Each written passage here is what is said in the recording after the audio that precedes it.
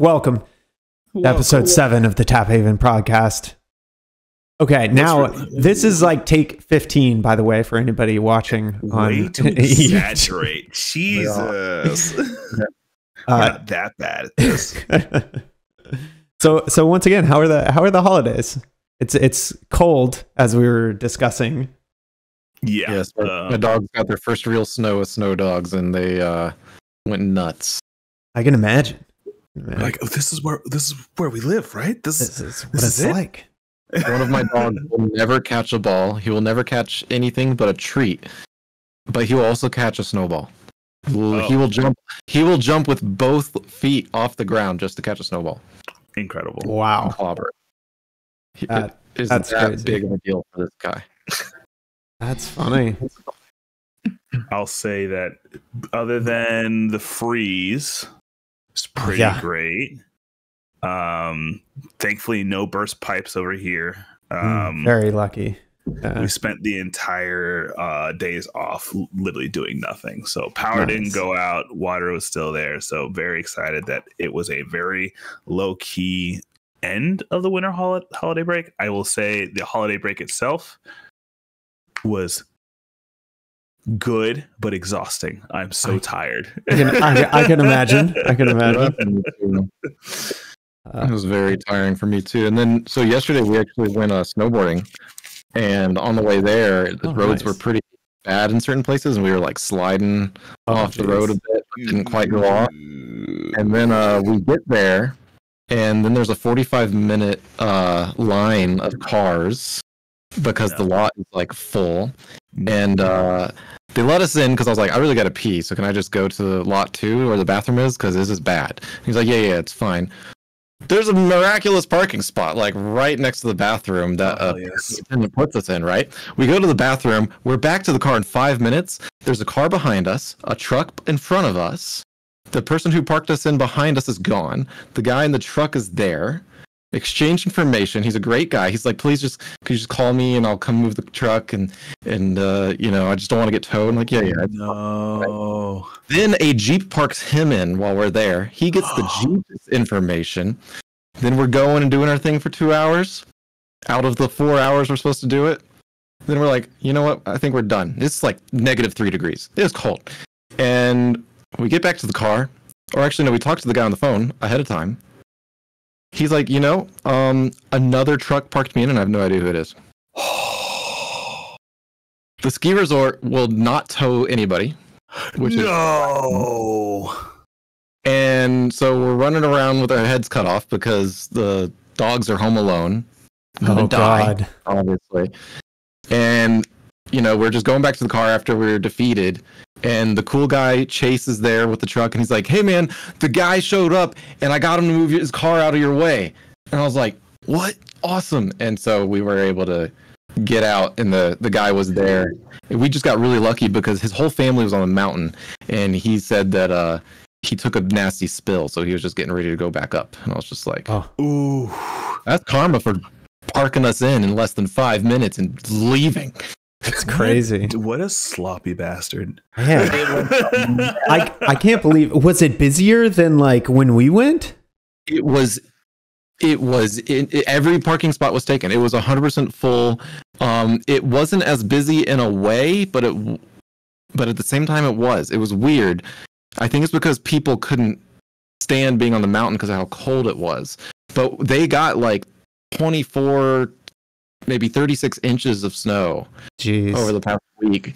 And so it was really good conditions. Like when you're walking on the snow, you were falling in like six inches or so. Wow. That's awesome. That's a lot of coverage. So the mountain was pretty decent, but the uh, parking lot was not. I can imagine. Jesus. I I can't wait. I have my board. I'll be going to visit him next month, hopefully, to also get some snowboarding in. Ex- Oh. enjoy, friends. Enjoy. Yes. Negative three degrees. Uh, No, absolutely not. Yeah, I learned. I usually go with just like a t-shirt, like a moisture wicking t-shirt and Under Armour under clothes. Not that was a mistake. No. It was good. We get cold like Ooh, that mountain. welcome, welcome to Robot Anthony. Take sugar, bring it. Bring it. Back. Nice. I'm back. Hi. No. Yeah. Anyway. Good times, except for the parking lot. Yeah. Sick.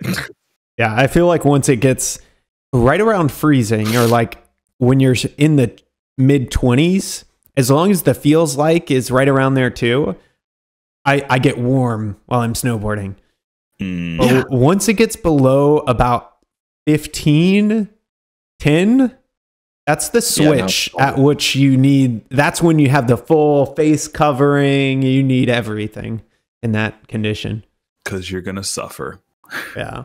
Yeah, I had hand warmers and brand new gloves, and my Mm. fingers were freezing. hmm And when you reach sentience, like what was that like? Sentient? Yeah, because you're a robot.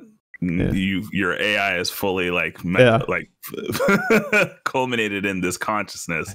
I just wanted to know what was it like to realize uh mortality, you know? we have our own sentient Well, whiskey I- bot over here. I, I, I thought I was thought I was mortal for a moment, but then I realized no, I'm still immortal. yep. It's see? just feeling. Yeah. See, the robot got- came back out just- just for that part. Even feeling. But oh man, my god. No. So, man, we have we have some uh, a fun year ahead of us. This is the first episode of the year, but we have a pretty Mhm. fun year. We have, gosh, what at least forty different whiskeys lined up and ready to go Please. I don't even want to for count, different honestly. episodes. So Yeah. it, it's going to be an awesome year, or the first full year of the Tap Haven podcast. And we're going to start it off with probably one of the more interesting whiskeys because I, I, I don't think that Australia is known for whiskeys. Mm, nope. Poisonous animals? Yes. Yeah. Uh, Poisonous animals. Yer- yerba mate? No, they're not yerba mate. I don't- What is it? Yerba mate. I don't think so. What's the thing that like they put on toast that's absolutely disgusting? Oh, I don't know. Aussies, tell us in the comments. they Like, what, They, What is they this? love it, and I've tried it, and it's you know, it's like an acquired taste. I'll say that it's an acquired taste, but Huh.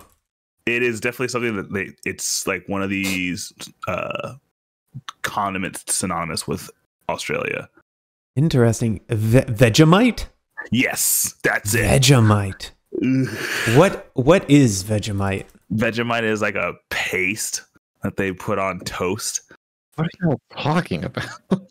I'm talking about a condiment that Whoa. Australia's like. Anyway, back to Oh, the wait a second. Wait a second. But this is this is this is great. We're gonna have to try this for the podcast. No, No, my dude, it Advertise. is it is Australian food spread made from leftover brewer's yeast I did not know that. with And various feel- vegetable and spice additives. Ah, shit. I- Of course, I brought it up. Of course, I brought it up. No, it's fine. Okay. Okay, cool. Well, on Yeah, our on our first uh, in person podcast, where all three of us We'll are do it. together, We'll have. we're gonna have Vegemite toast with a whiskey, Oh, and it's gonna be fuck. amazing, Oh, amazing. God. If if we do this around March or September and in Atlanta, I think it's like the third weekend or so, the early part of the month, I might uh, be able to get an Australian to provide us with authentic. Oh my gosh. Oh. And and I think we have a day that where we're already trying to plan Atlanta stuff. So that in-person June. episode might be in June. Mhm. Everybody's if everybody's able. Yep. Uh, that could, that could be a lot of fun. Be good. Yep. But back to the bill, my yeah. guy. So we we have a wonderful Starward Nova uh, single malt whiskey. It's an Australian whiskey. Um, now the age statement on this is two years, so it, it could have two years. Now, for a single malt whiskey, of course, this means that the mash bill is 100% malted barley. However, the interesting thing about this one is that they um, let this whiskey mature in red wine barrels. Hmm. And so I'm thinking that this is going to be a pretty interesting whiskey here. Now, one Australian whiskey. However, and a kind of uh, Okay. like I can't get the lid off. Buddy, oh I think it's trying my out altitude. Soliloquies, bud. Come on. Sorry. Now, obviously, I because it's in Australia, I don't. I I've never had an Australian whiskey. I don't know how we're gonna what kind of flavor palette they usually prefer or what we're looking at here. But just given the single malt nature of this, um. I think we're gonna get a little bit lighter of a whiskey. It's a little bit low on the ABV. We're looking at about 82 proof or uh, um, uh, 41% ABV. So it has been proofed down. And Anthony almost has the top off here.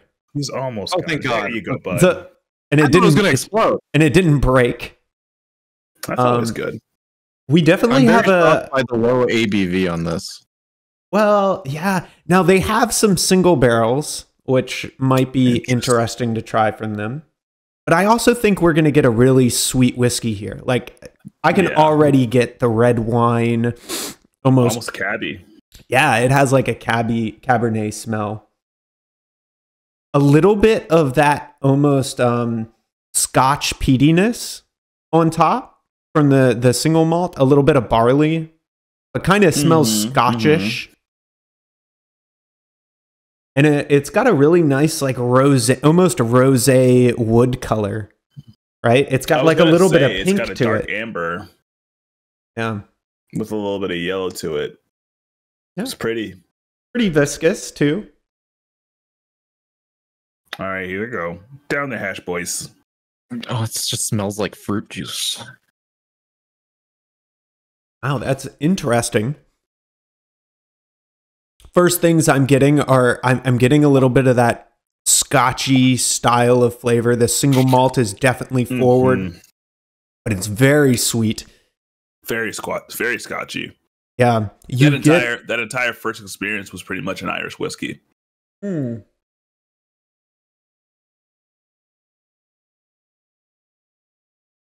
I I don't know. I get a lot of the barley. This definitely has more of a single like the single malt flavor is a hundred percent there with a a lot of the the the almost cognac flavors of a wine. If you if you were to describe the barley taste to somebody who is a simpleton at this, what would you explain it as?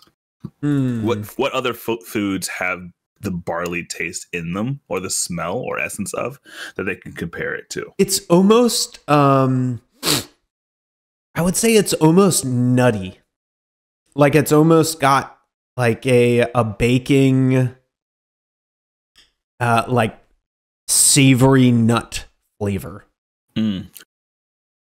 Like a like a a, a bread that's been baked like had nuts baked in like a multi-grain nutty bread type of deal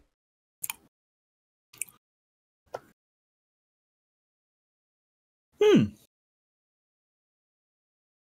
It doesn't stick around for me long enough to give me like a, a definitive taste. To be I could, honest, I could see that. It, it it passes very quickly. it's there and gone. Yeah. It's a very e- however, I will say there's nothing harsh about this whiskey.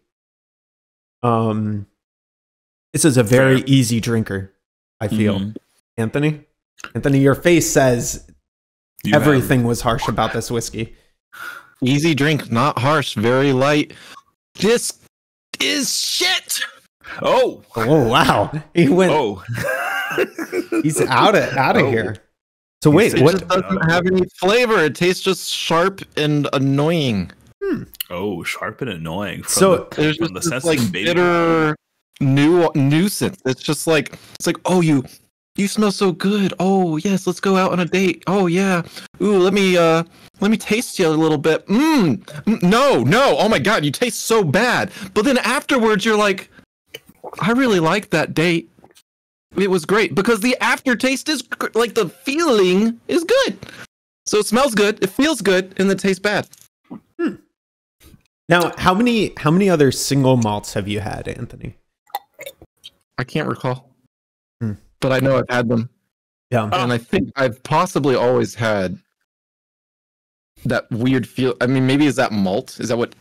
I don't know what that taste is. Malted barley. Yeah. That might be the Malted- problem. Malted barley uh, has a distinctive taste, for sure. is barley. Barley's what you. Barley isn't in beer, right? It is in beer. Eh, They can have barley in beer. Depends. Um, it just depends on the mash bill. And so a lot of beers will use barley. Interesting. But um but yeah, I I can see what you're saying. It, it is very it's very much a single malt. There's just like Um, no flavor.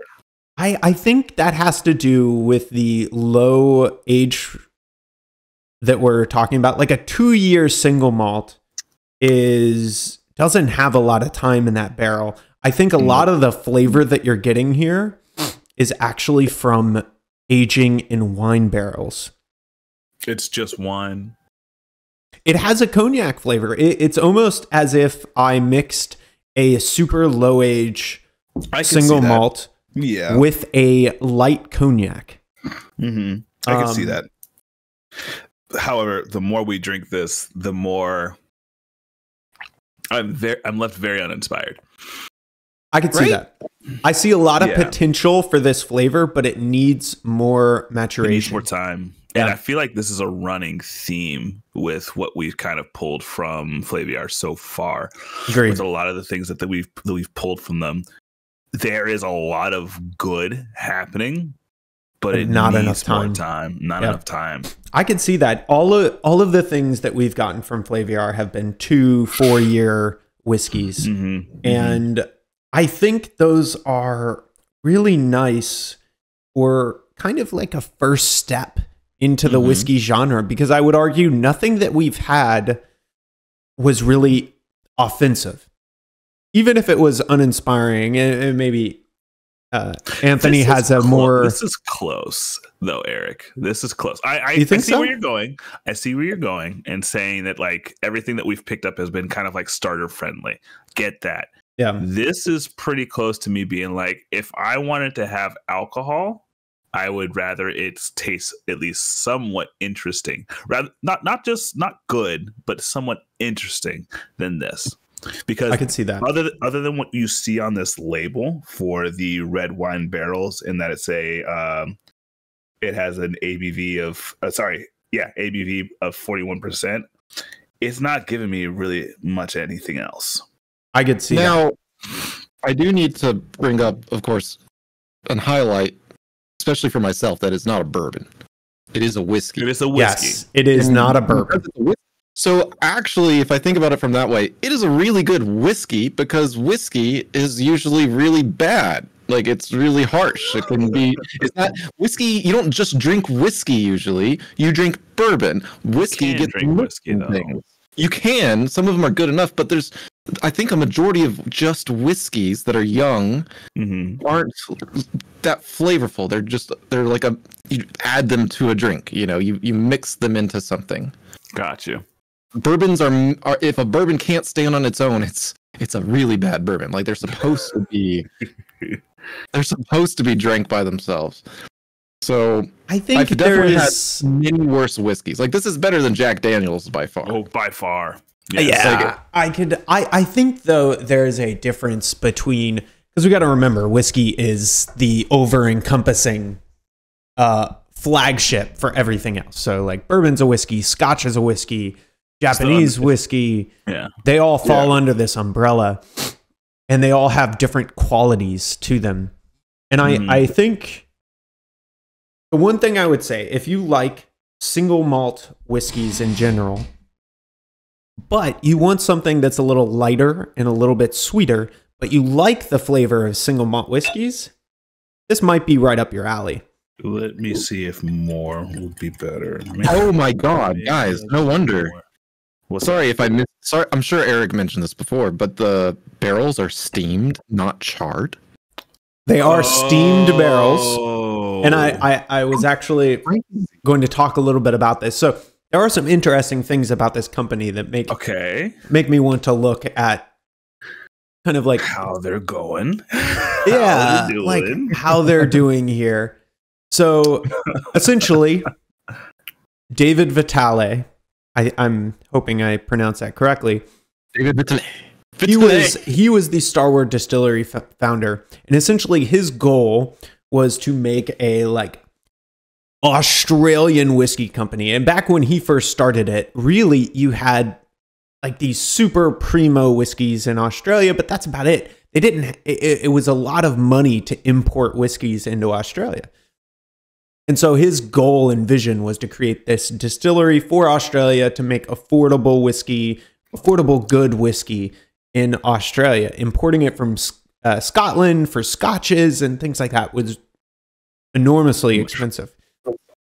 And so where we could get a scotch here it was pretty good for like 70, 80 bucks, right? Or if you you know, you go to Scotland and you can get one for even cheaper than that sometimes that is really good. Uh, that you were paying a premium in Australia for these good whiskeys. Mhm. And so he wanted to kind of get an approachable, affordable Australian whiskey. And, and that's kind of his tagline affordable and approachable. Mm. Um, and so he went, went about to create what we have here. Now, this is the Nova line. They have a bunch of other whiskeys that um, they have. So they have ones that are peated finish. They have single barrels, right? That are This is what we got higher here. in ABV. No, we don't have a single barrel here. This is a single. Oh, this is a single malt. Sorry. Yeah, Sorry, this sorry, is a single malt. And so they have the Nova single malt. They have one up above that that's kind of the Solera single malt. And they have the octave barrels. They have some single barrels. Mhm. And so they have a bunch of options and interesting things um, about them that they have going for them. But the Nova in particular, if you read uh, the back, the Australian wineries give them their barrels. They then steam those barrels to retain the penetration of wine into the wood. And this particular Nova line is to kind of highlight those wine flavors. Wait. So, which barrels are steamed? All of them? Are there no charred barrels? Because there's two I types of do not- barrels, right? I do not believe So that these barrels are charred. Nova is only using steamed wine barrels because you have to remember w- bourbon is the only one that requires charred Charred. American white So oaks it's a type one- of barrels. It's a, it's a one barrel life, yes, Right. yeah, yeah, yeah. It is not a. It's not two barrels. It's, It's not a one finishing, right? Interesting. They're aging it in steamed In the wine, wine barrel. barrels. Is steaming common for wine? Um, barrels? I I don't- have to say no. I don't think that is that the case. burn off. I think that would burn off a lot of what some would say the root taste of the barrel itself. Now, Possibly. now I will say don't some of the- them do yeah. steam them. Like it isn't an uncommon practice, but I don't think it's like it's not a rare practice and it's not a like the overall practice. It's just some of them steam them, some of them char them. Um I think a lot of wines end up steaming more so than like whiskeys, but whiskeys oftentimes char their barrels. I've never heard of a winery steaming a barrel though. Like when I think when I think wine, and if I'm like if I'm in wine country in Italy, Well, I think I- they like, they steam they steam clean them. barrels. I think they steam clean most of their barrels. I I'm not I'm not 100% char on this. You're you're probably right. No, they Usually don't. probably char cleaning. They don't but char wine barrels, as far as I know. In every case, Let me see this.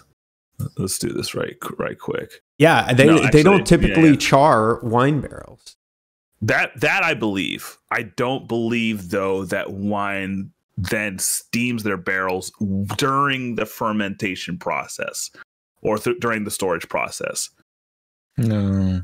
So I think the use of the steaming of the barrel with this whiskey is used as a replacement of the char process inside of Oh, the 100%. whiskey domain, which Yeah. I'm like, it's an interesting take because you can say that you're like drawing out the uh, essence of the wine without causing damage to the wood and possibly uh, causing deviations within the taste. But I think it's it's a catch tw- uh, twenty two.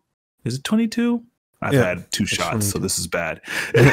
well, I, d- I definitely think it takes away the vanilla, caramel yes, like notes that you usually get from a charred barrel that might improve this flavor palette. I think it needs to be warmer. I, I do think could that, see that. like I can see that. that. aspect of the vanilla, or at least maybe like some of like maybe some brown sugar aspect to it, to add some form of like, uh, m- no, not malted. I guess th- a warmer uh sugar texture in any Mhm. way to this taste would probably make it a lot better. In my in my opinion, I I like um I like bourbons and or whiskeys. Like let's just put it on, on an umbrella that are one juicy but also too warm. And this is warm without the juice. So, what would you rate it at? What did he say? What did we say? Undrinkable was three. Um, no, that I, I I don't know. I would I think the way I would put it is that five is your average, like your average good whiskey.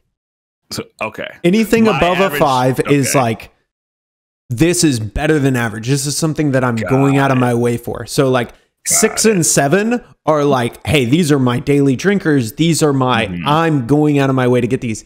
Eights and nines are like these are the These creme are de la things that I creme. Find my my Yeah. taste by. I'm I'm going into uh, stores hoping that I find these. And then Yeah. 10 is like this is my perfect whiskey. This is my number Got one. Got right. it. This is a four, a flat four. Okay. This is a flat four.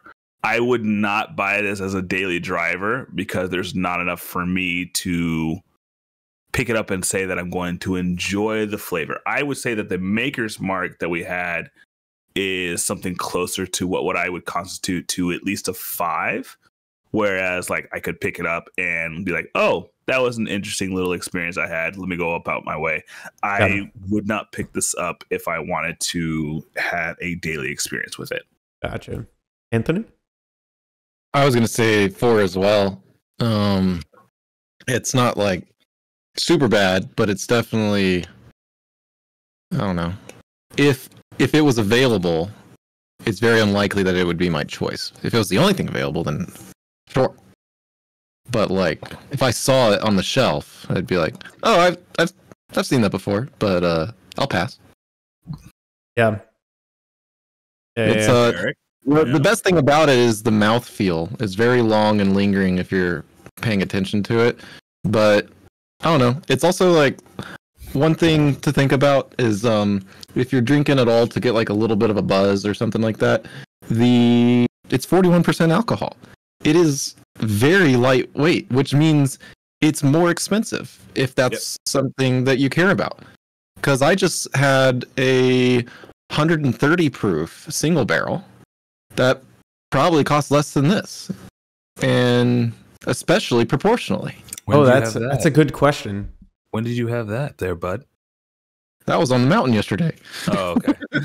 Nice. that was a that was a jack daniel single barrel rye that eric pointed out to me he said it was like the only good jack daniels which he's right uh, Single Hate to the the that. the Jack Daniel. So uh, just to be clear, the Jack Daniels has a huge line. Jack Daniels is obviously really famous. They have their low end whiskey that is their main seller, Mhm. Yeah.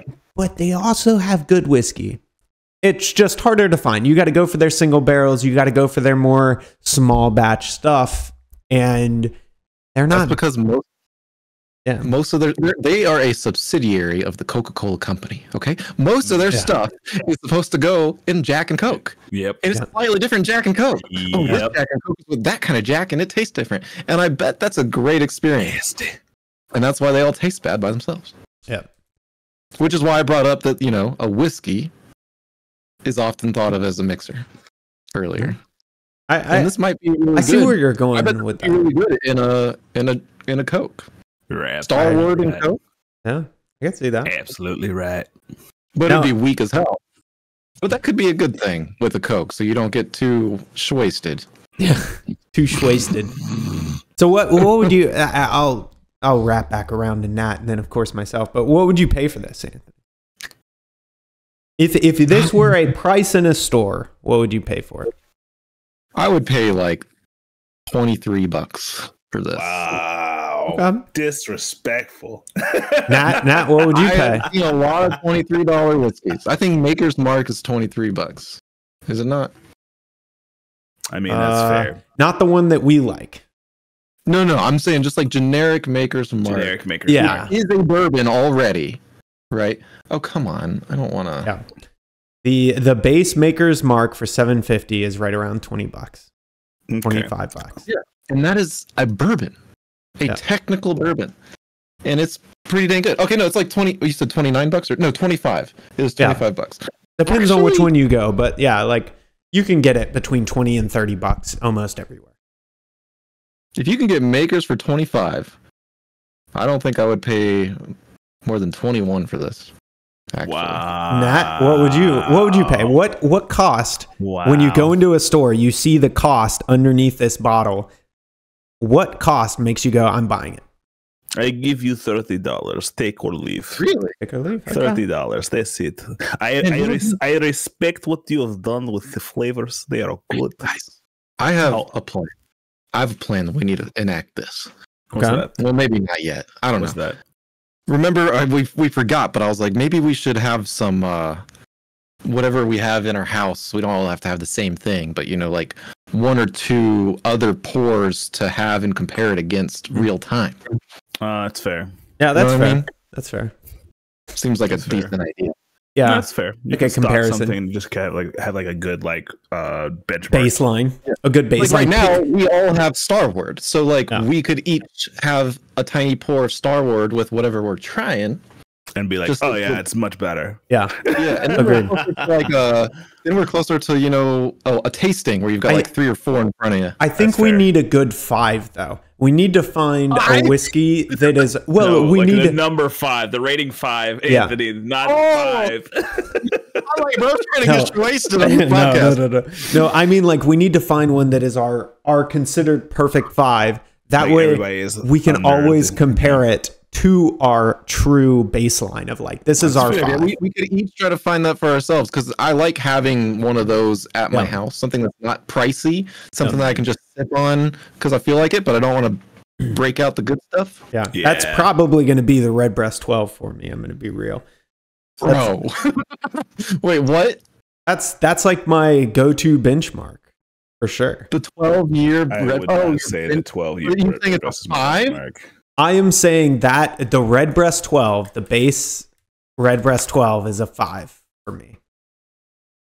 It is it is what I consider the daily drinker perfect. You can get it for 50 bucks oftentimes. It's super affordable. It doesn't have the proofing of the higher Redbreast. It's not a Redbreast cask strength. Not talking about that one. Like we talked the Redbreast 12 cask strength, we're looking at, you know, an 8, right? We're moving up, but the base Redbreast 12 that is super affordable is what I consider the middle of the road. Everybody's going to like this. 5 out of 10 whiskey. If you see it on sale, you're probably liked it. picking it up. Yeah. Dude, I know that there's just a big difference between our tastes and our like uh, Absolutely. what we see as an affordable daily drinker because mine's right around 25 maximum $30 per 750 mil Damn, to, to like have that as a daily drinker because that's maker's mark that's woodford's and that stuff is fine but if something is aged for 12 years and you give it a five Bro, that means they're bad. No, no. True. That's It's bad. If it's, I have- it's a Anthony, seven after 12 years, they're making a mistake. I You've offended them. I have said many I have said this before on the podcast. My rating system 95% of whiskeys should be like 5 or less for me. should That's be. that's not because they're bad. 5 is a good average whiskey. Like 5 is the minimum bar. Statistics statistics would say that if 95% of yours are a number, that number should be 9.5. No. Uh, all I'm getting at is that 5 is a God. good a great standard daily drinker whiskey for me. I'm not basing any of my observations off of Ant, uh, off of Eric's scale anymore. When Eric's 5, 9.5. what? to get it, here's the thing if i say a six it is above average like this is a good whiskey Eric's, I got it. Eric's 1 to 10 is logarithmic. It goes straight up. Yep. Oh, Straight to the top there, kid. you know You that's just made that's not wrong so i'll go on to my Oh my god. with with that said i'll go on to my uh, rating for this which i i would put at a At a what? a 2.5 Oh wow. um now with that said Which is about the same as us if you consider the logarithm. yes yes Yep. yep. But Mhm. I will say there are some things that I really like this, and I, I think to highlight this, I think at a at the price point you're looking at, which by the way, this bottle is around fifty bucks. no. At around fifty bucks, you're looking at a, a tough sell for me.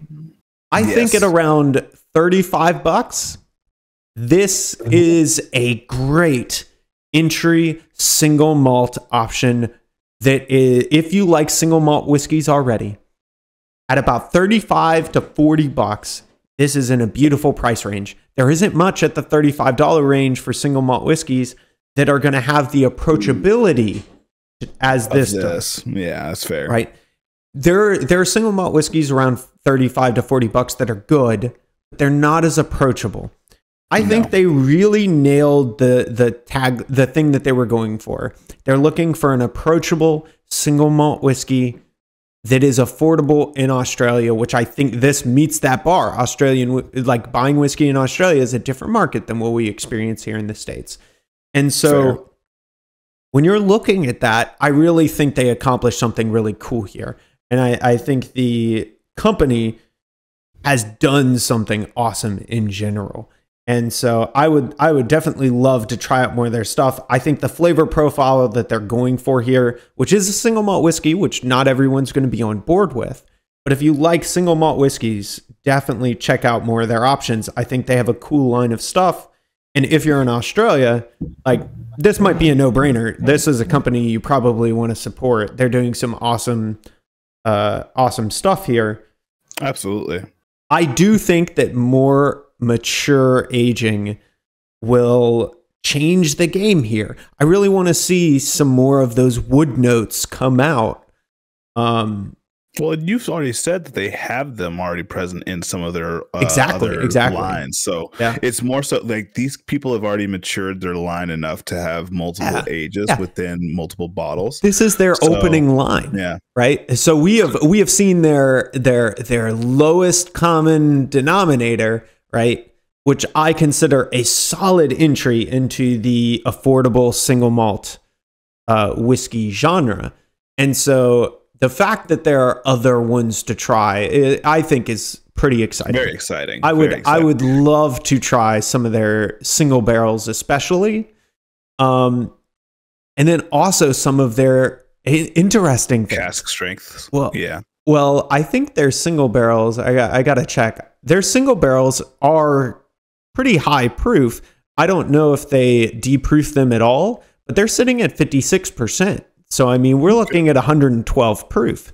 Um, now, okay. V- This is very interesting. It, it costs significantly more in Australia to buy this. It's roughly makes sense. $60 US. and it's only 700 milliliters. It has a completely different. Uh, no, this is um, 750 sticker? milliliters. no, ours at 750. You could buy ours in the states right now online Oh. for 55 dollars from their website, Wow. but you have to pay an additional seven dollars to get what should be the same thing from their website with a different sticker, different hmm. label, and it's 50 milliliters less. Wow. So they're trying to bring affordable whiskey to Australia, but it's still more expensive than what it costs us. Wow. That's crazy. All How Yeah, of does that's that's Made a that's Australia weird. it Don't work, man. That's How weird. that make that's a I'm little real bit. That's a little awkward. Maybe the taxes are a little nuts. yeah, over I don't know. Maybe that I that, I ha- that has to be it. That I has to to be it. assume. right? I, I was just Um, joking. I'm sure they're not assholes because they made it. No, decent of course whiskey. I- not. That was just funny. Um, but, you know, one thing this has me hoping is that I hope that I still have this bottle when we come to our next single malt, so that I can compare. I have a feeling you will, just from ju- judging from your initial reaction to this bottle. I don't think you'll be sipping this any anytime soon. I since I have officially killed my cast strength uh maker's mark this may become my daily driver just because i don't really have anything else that i'm willing to put on the chopping block for that Yeah. um but yeah i You- I'm probably you have to a Nikka. some- look it's it's it's whatever Do you like? okay? Do you like? That Woodford's? Nikka is phenomenal. That Nikka is okay. It's a coffee infused Nikka, and it's, no, it's, a not coffee coffee infused- infused. It's not It's- coffee infused. It's They what- what use it? a Coffey still, which is not coffee. They are Okay. different terms altogether. A Coffey still Okay. is. You remember when we went to Old Forester and they had that giant still that was in the back? That is a Coffey still.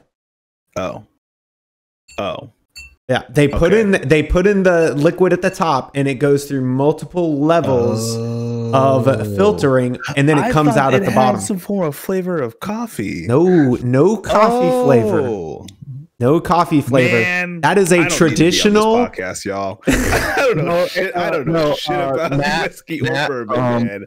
Oh my Eric- god. I think Eric gave me one of those like a year or two ago, and for Uh-huh. the past year or two, I thought it was infused with coffee too. So I'm Oh just my now. gosh! No, that is We're in a the same boat. that is a great Japanese whiskey by the Nikka Distillery, um, and it's it is really good, really good. I will probably not put it on my daily drinker because I will probably try and get through this one first. No bottle left behind. yeah. This will get finished. I love the artwork on it. Oh, dude, the, vibe. marketing I'm- great. yeah, Marketing is great. and I would definitely look into more of their stuff if it's available in any of the liquor stores that I uh, frequent now. Agreed. That being said, this will probably go down as one of the uh, bottles that I will definitely avoid because, as somebody who values a good experience and a good taste for what I like, this is something I would avoid. I I could see that. I definitely want more out of it. I'm excited to try some of their other stuff, but I probably won't return to this bottle at this price point. No. Um, if somebody tells me that they like a single malt and this is, you know, a friend of a friend or I'm going to a party type of deal, um, and I know they like single malts, I think this is interesting enough as a, a, a kind of like getting to know you present type of deal. You would recommend this to somebody? I think if you like single malts and you're trying to or uh, like you you like single malts and you're trying to get an approachable option for single malts. I don't know that I've had a single malt that is more approachable than this for an affordable price. I think Hmm. single malts, especially low age single malts, tend to be pretty harsh whiskeys. They tend to be like something that I would drink, but not something that a person who's just getting into whiskeys will drink. And so to have something that is like, hey, this has the single malt flavor, but it's a little sweeter, a little bit more subdued, a little bit more approachable is pretty nice. If you like this, you know you will like single malt whiskeys, even some of the more harsher ones. If you don't like this, then you're probably not going to like a lot of those single malt harsh whiskeys until they get to like insane price levels and the aging starts to kind of mellow out the flavors and bring out more of the oaky, sweeter flavors, right? And so, while it wouldn't be something that I go to on a normal basis, if somebody's like, hey, I want to try out single malt whiskeys, I'm going to be like, hey, if you like you this go. one, this is a great starting point for single malt whiskeys.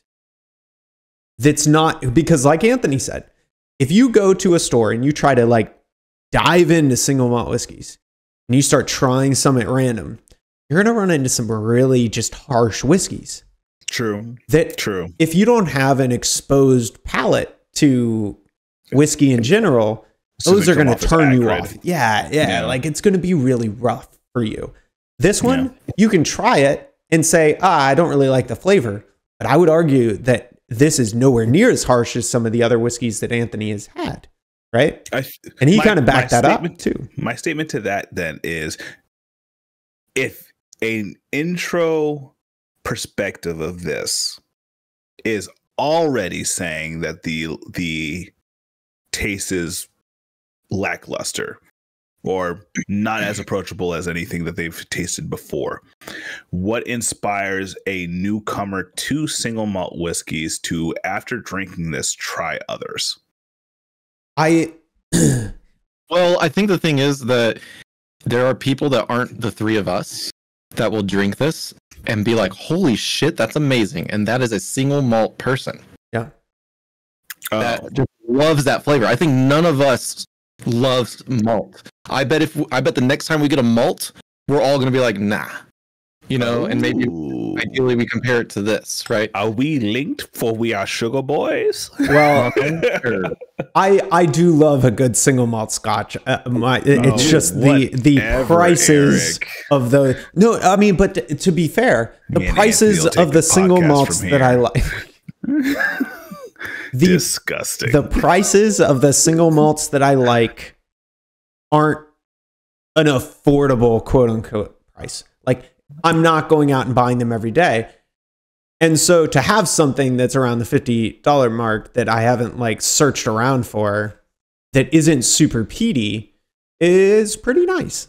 Like uh, Okay. like I I don't think there's a lot of other single malts that really offer the experience that this one has that I have tried yet Mm, mm. right? And your cheapest option is something like it really gets into that type of thing are going to be pretty expensive. Yeah. Like in the 100 to 150 dollar range, you're going to start finding a lot of single malts that I feel are really really good. That's not really uh, affordable.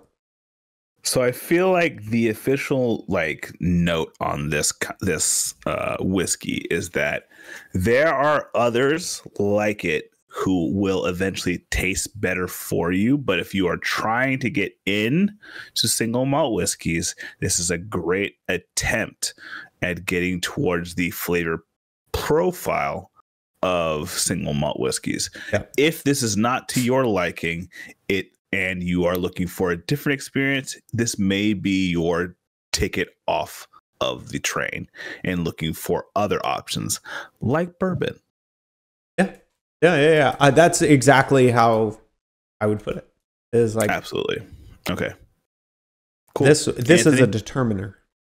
yeah, yeah. So I just wanted to add that um, for me, a daily drinker would be Woodford's Reserve, and I would highly recommend it because it's not going to break the bank.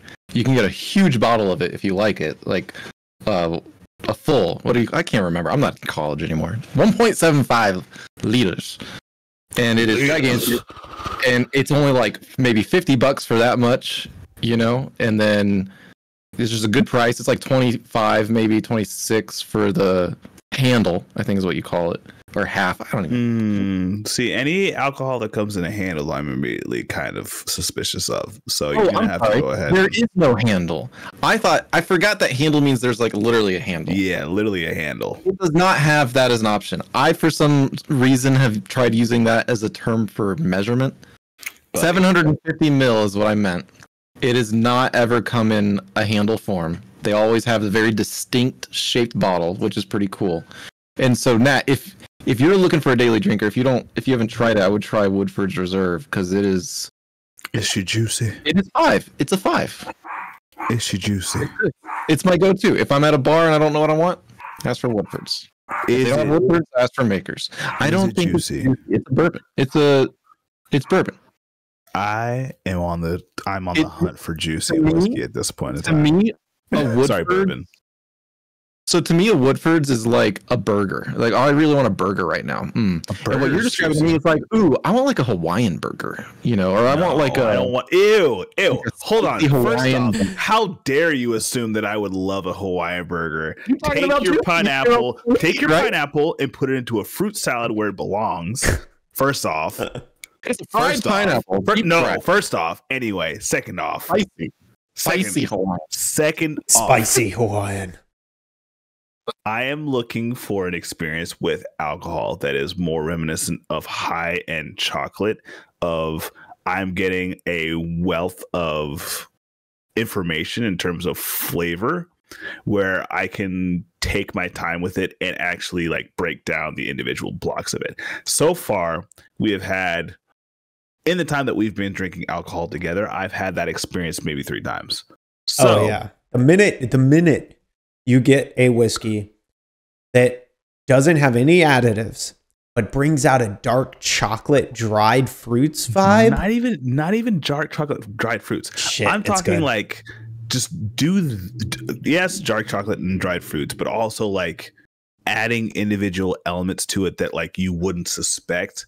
Like Agreed. I don't I don't know if you can put snowberry into a, into a bourbon, but maybe there's a note of snowberry. I, look, I don't know, but I I enjoy whiskeys that are sorry bourbons in this case because I've yet to find a whiskey that I like. Um, Yeah. I enjoy minute bourbons that, that take me to that place where like I'm I'm ranging through what it's given me and I can sit there for at least 30 seconds to be like, okay, I have a good idea as to like what's actually happening here, but there are probably some things that I f- I failed to pick up. That's what I want. yeah, evolution. I, I think Yeah. and I think everybody kind of looks for that after a while in whiskey. I, I think some people that are kind of just dipping their toes every now and then into the the whiskey market. They kind of buy things for drinking every now and then. They find a flavor that they like and they stick to it, and that's it. They they have their Yeah. one whiskey. But I think as you dr- try more and more, rather than looking for the one note that tastes really good, you really want or are, are driven to find evolution in flavor during Mhm. the drink. And that requires just a whole myriad of things to kind of like culminate and come together in one whiskey that is hard to do. And so when you find whiskeys that do that, it's just really cool. It's really special. Yeah. Yeah. So Skyward, we- we rated it. We tasted it. It tasted okay. Yeah. For single malts, go for it. For others, maybe look elsewhere. But the branding is incredible. Oh, I'm yeah. sure the line is also fantastic. Honestly, I would I'd be very interested to see what else Starward has do- does. I will be on the lookout to see them inside any liquor stores and see if they have anything else Yeah. outside of this line to be interested in. The steam barrel part portion, I'm a little skeptical of until I have another um, entry that does the same thing in terms of steam barrels. But for now, this is was an experience. Uh, one I will choose not to repeat by my own volition, but it is a great, a great little introduction to a brand that has done a lot of good work towards uh, enticing others to engage in this hobby. Yeah. And let me let me just read off a little bit of their their flagship whiskey, um, just because it- it's kind of on. This is not the note. flagship. No, oh, oh, well, uh, this is kind of their like send out the troops type Oh. of ship. So this isn't their, fl- this Oh isn't my their flagship. God. Their- flagship. their major scouting- one- Solera is scouting party. Is it the Solera? No, it's the. uh, I think I think the Solera is what Nat wants. uh, I could see see. that too. I could see that too. Oh my Uh, god! let me Nat, let get- me let me read off this Vitalis. The the Vitalis, which sounds very interesting. On the nose, chewy toffee, raisins, chocolate coated pineapples, and cedar. On the palate, big, viscous, rich dried fruits with red currants and lightly roasted coffee beans. A long, oily finish with fruit and oak. It's a blend of different whiskeys aged from four to 10 years to give it a little bit more aging. Um, sounds really good. It got the double gold at the San Francisco um, World Spirits Competition, which is a, a huge uh, accolade to get.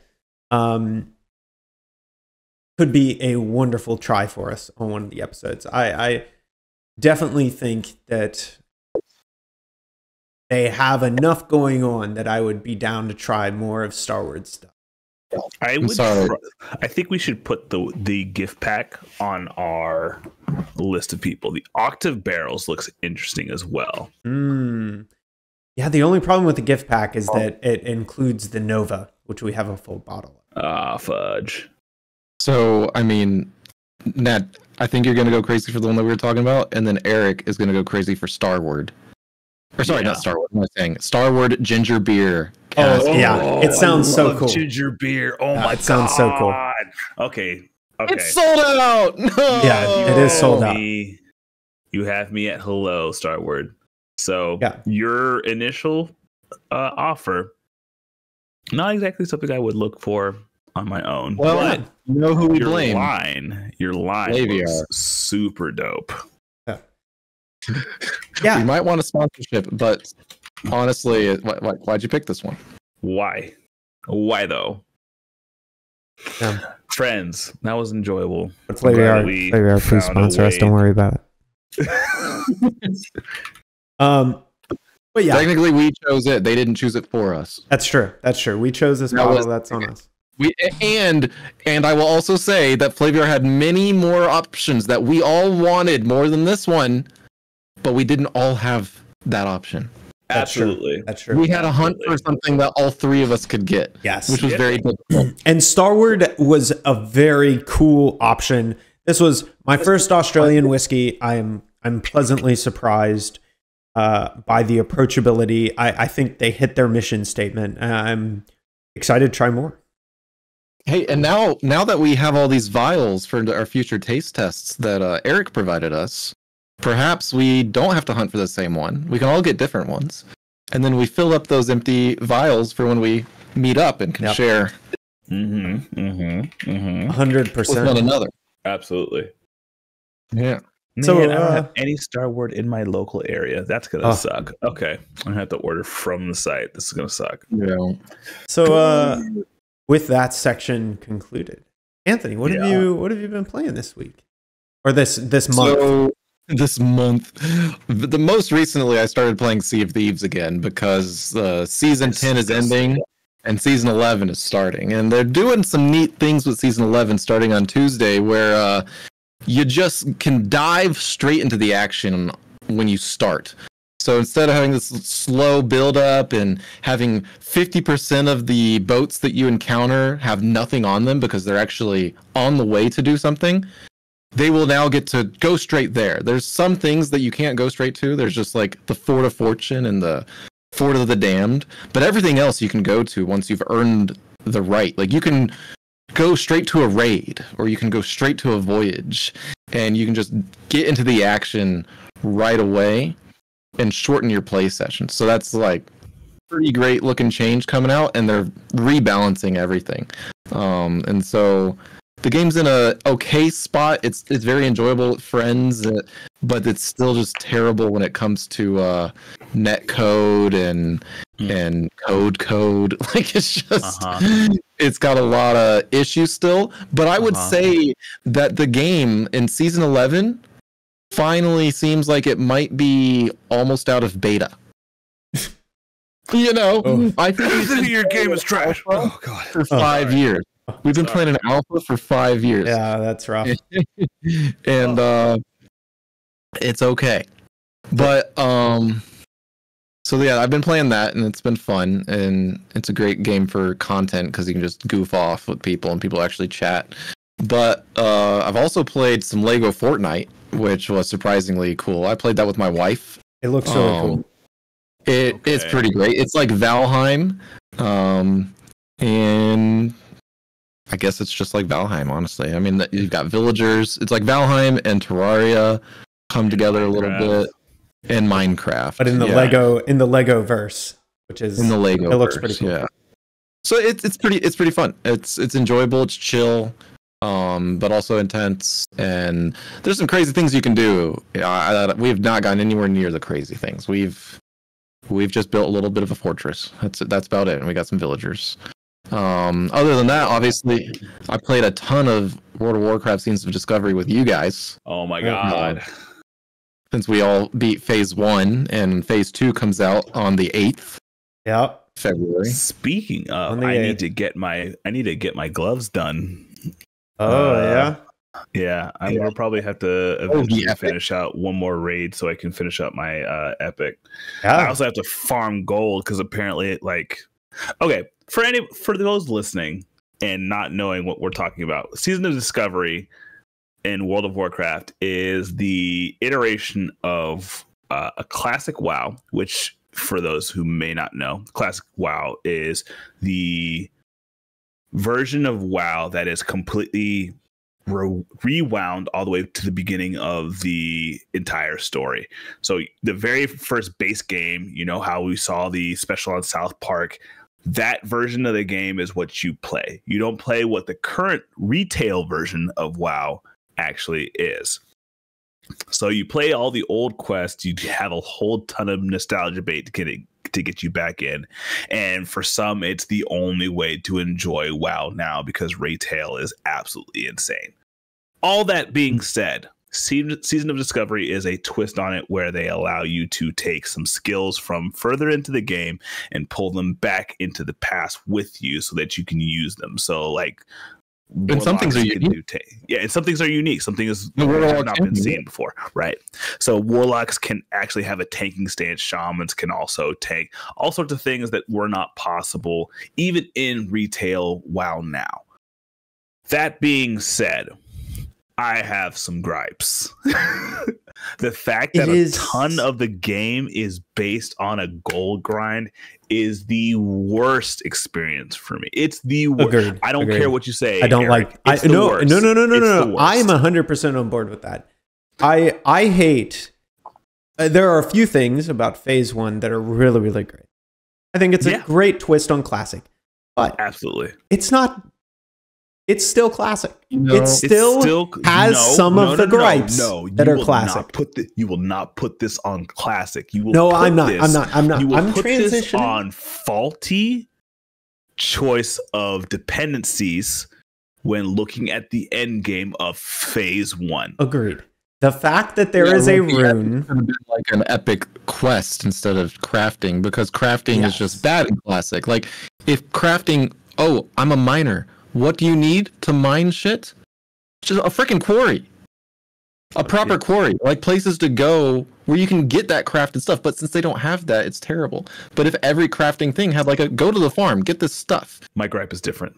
But Yeah, ahead. I I, I think the biggest thing is It that was- I thought it was the epic that needed all the money. no, he's talking about the um. It- there are runes. Oh that- man! So the biggest thing is the biggest thing. There is one particular rune for each class that requires you to get a bunch of these fish oils from Murlocs, a bunch of these shredder parts from Goblin shredders in the thousand Arathi Highlands. thousand thorn veil No, or whatever. Arathi Highlands. Uh, no, uh, they're not in Arathi Highlands. They're in the Thousand They're Needle span. They're not in the, they're not in Thousand Needles.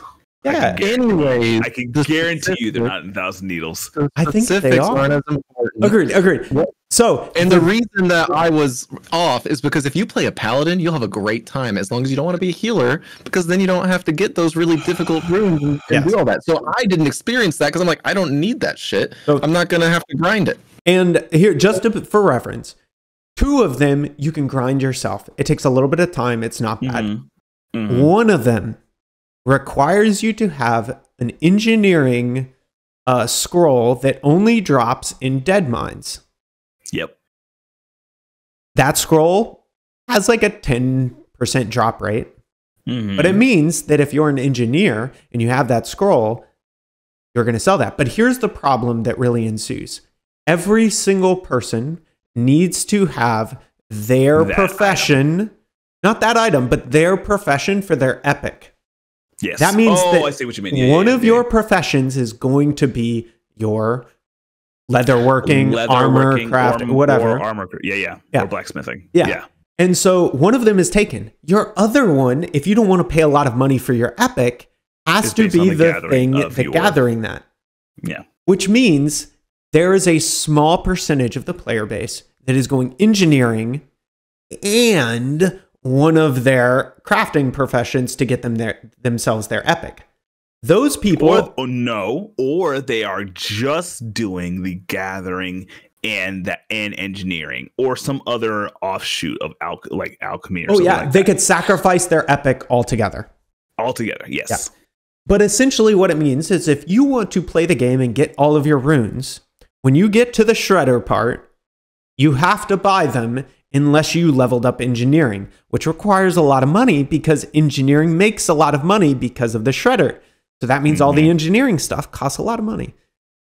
Well, Every yeah. single part costs at least a gold and 15 silver something like that it's abs- so to put you in the in the right frame set of mind when you end the game at 20 level 25 in this span of time you have maybe 2 3 gold maybe right am i wrong guys No, I would say that's after, pretty after accurate. tra- After, training all of your skills Yeah. and making sure that you are Yeah, like, up to, get up to to max date. level. Yeah. Yeah. Once you get to max level, you have Yeah, I two three gold left. too, Yeah. Yeah. You need you need 23 of those turbocharged uh, super shredders. Yeah. That's 23 gold. It's, sorry, not even 20. That's Well, I was about 23 to say- plus gold that you They're need. They're like insane 30. too because I think at uh, on our server at least that we're playing on, I've seen them as high as like five or six gold. Let me see. Well, that's another problem. I don't know if y'all saw, but uh, I saw an Asmongold little video or short, and apparently uh, gold sell- uh, sellers in Season of Discovery is a huge problem. Yeah. And so all of the prices have gone insanely inflated because people are buying gold with real money and then making the price of things go really high because they're Yeah. like, oh, that's not that's like two dollars, you know. Yeah. And, it's and you you want to know why they're that's such a problem is because uh, in my opinion and, and i think there are going to be people who buy gold anyways and there's a lot of problems that Uh, come along with that and you you there's a lot of solutions that blizzard kind of has to work with there that are really really difficult but i will say the easiest solution to that type of thing is to make engaging gameplay that people want to interact with it makes them Yeah. want to play the game rather than care about buying gold to get it faster. If you make Yeah, the gameplay engaging, and it just so happens that two are uh, really one of their in game things, you can buy all of these things, and therefore, and it's a lot of time, but that time is not spent in an engaging way. You're just farming shredders, farming murlocs, or farming dark iron dwarves. That's not that engaging. It's not interesting enough. It And when you consider that it takes probably, I would argue, at least about five to six ish, maybe even longer, depending on your drop rates, hours of farming. And you have to have engineering to even be able to farm one of them. But let's say you do, even if you have the engineering, now you have to farm for that for a few hours too. You're looking at a full work day of people who really are already working, already doing this stuff. The average like age range of the player base for Seasons of Discovery, I would argue, is probably 25 to 40, right? Yep. These people are working Yep. full time jobs. they don't really want to farm unless it's fun. Yep. And there are ways to make these farms fun through questing or more interesting things. There are there are runes that they did that are super interesting and I love the design of them and they're super fun to do. It just so happens that one of them takes a lot of time or a lot of money and is mindless to do. And guess what? I would argue that that one rune is why a majority of the player base buys gold in Seasons of Discovery. Absolutely. 16 of these items is necessary to make you end game viable for anything that you're attempting to do with your friends for doing that the raid that has been teased within season of discovery so if you are wanting to do things with your friends right now it is going to take you at least 16 gold hours whatever it takes you for, for you to get 16 16 plus gold to get these items I I would argue that's even a low estimate too. I think I spent uh I I farmed everything that I could farm, but when I had to buy the sh- shredders, I mean they were at like 3 gold a piece. It was going to be Yes. over like 40 gold to buy Yeah. it. Yeah, it was the So- shredders, it's the dark art iron ordnance, and the fish oil. Yeah. The dark iron ordnance is probably like the middle Yeah. expense. Yeah. And then like even after this, once you start getting into, oh, I have the rune, now how do I create my item? It's a base of five gold that you have to have outside of the mats Yeah. to be yeah, able, yeah, yeah. Be, be able It's to progress this to, to progress this the quest. I hate it. yeah I think they hate could have. it so much. I think they could have easily solved this if they would have gone sort of the new world approach, where they just increase substantially how many mining nodes there are, how many herbalism nodes there are. leather working's already doing good, and then you just adjust the crafting material requirements for those things towards those things that you get an abundance of. You you don't do the fish oil crap. You don't do monster grinding for stuff. You only do that in the world stuff that is people like doing that. Oh, I found a a plant. I'm going to take that plant and then I can make my epic with it on my own and it doesn't inflate the cost of things. Like it's insane that everything you craft costs you money to craft it. You don't craft it and gain money. That which means that there is a resource drought. The resources aren't there. So all Yeah. they had to do was increase the number of nodes. Yeah. Put tons of mining nodes, tons of not, herbalism nodes. not even okay not even let's increase the number of nodes remove the necessity for a single trade skill to dominate the Ooh, acquisition That's of that a is my biggest problem by the way. I I, I would argue Anthony's right. Right? Well, yeah he's right yeah yeah, yeah, yeah. An- An- Anthony, I agree with all your points. But I will Shouldn't say we all be able to gather? Like do all the gathering skills for free. We should all be able to mine, all be able to herbalize, all be able to do every single So one of those things, that- just like New World. I'm not I'm not disagreeing, but I would argue there is a bunch of design philosophies in place that make classic classic. Yeah. In this particular case, they have a rune that requires engineering, a crafting skill, not a gathering skill. And it requires a crafting skill to be able to do it without buying stuff. So, Yeah. if you don't have engineering, you have to buy it.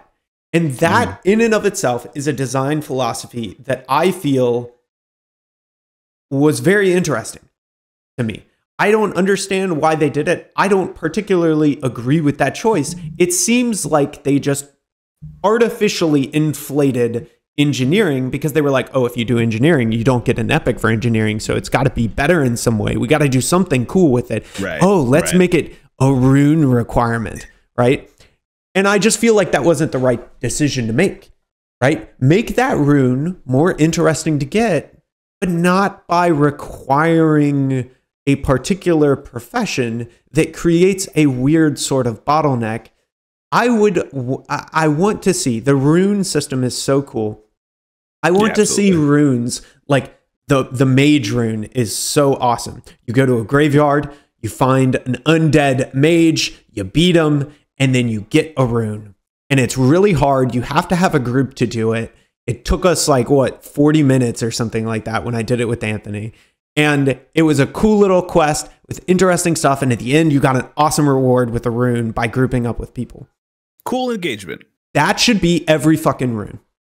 The fact Yes. that there is any rune that isn't that type No. of thing is the problem, in my opinion. That was that, that was really good because there's a classic quest where I had to get my green helmet in Duskwood, and it was a huge long quest chain. And at the end, I had to fight a guy in the same area that we got the rune you're talking about for you from, but for a classic green helm.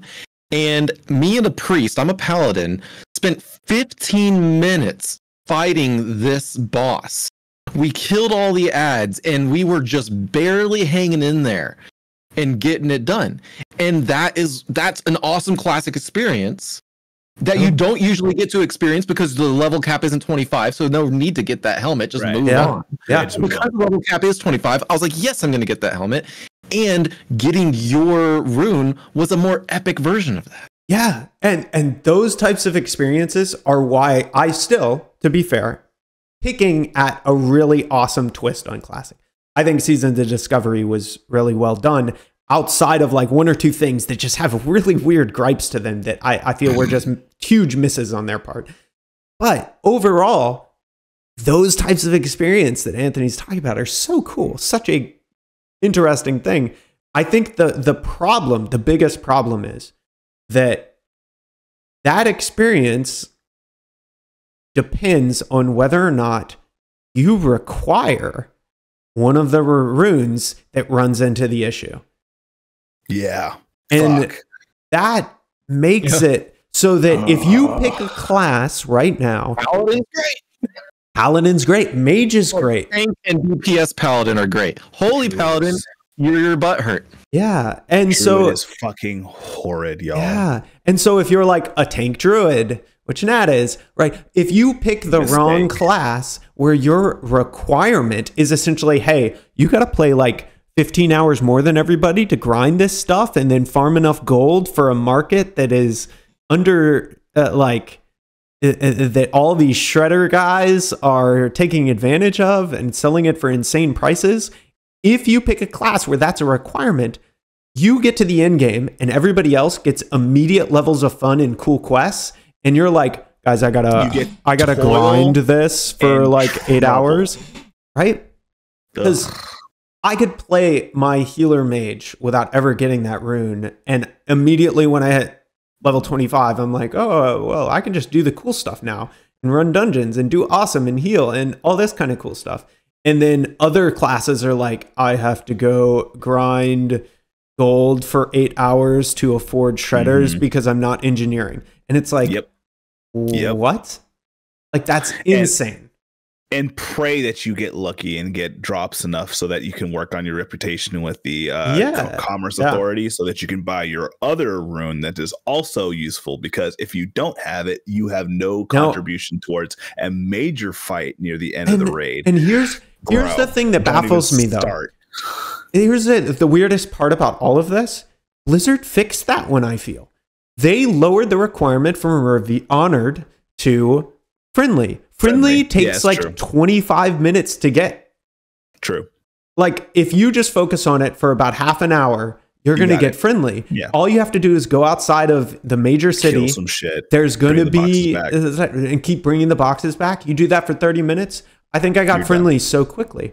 yeah And so they fixed that, but they haven't lowered the requirement on like shredders. What if you only had to get like one shredder?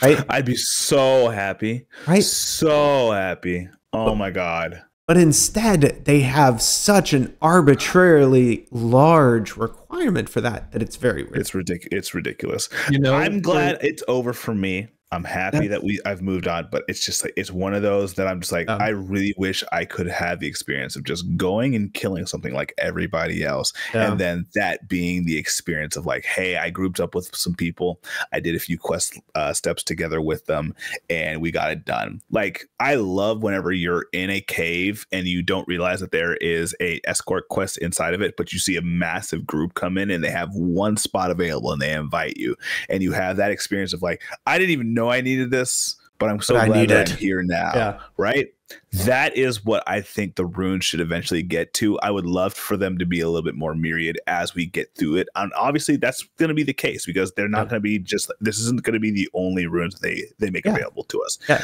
That I'm excited for phase two. Phase two is going to be interesting.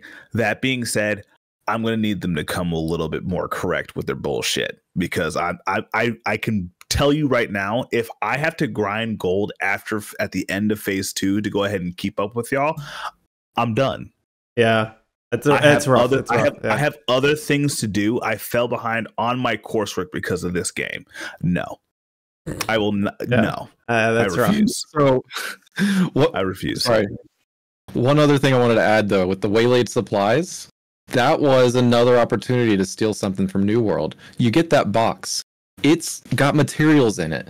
And because of that, it gives you a recipe to make the six copper short swords for way less supplies than you would usually use. Oh to yeah, that would be dope. and to make them in one. That's what New World did. That was like, Smart. oh, we need this.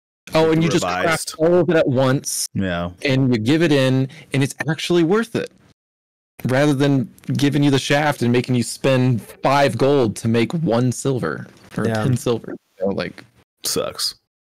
I should So- sell that on the op- You were playing anything else that you were playing there, Anthony, Um, before you sent us over the goddamn deep end.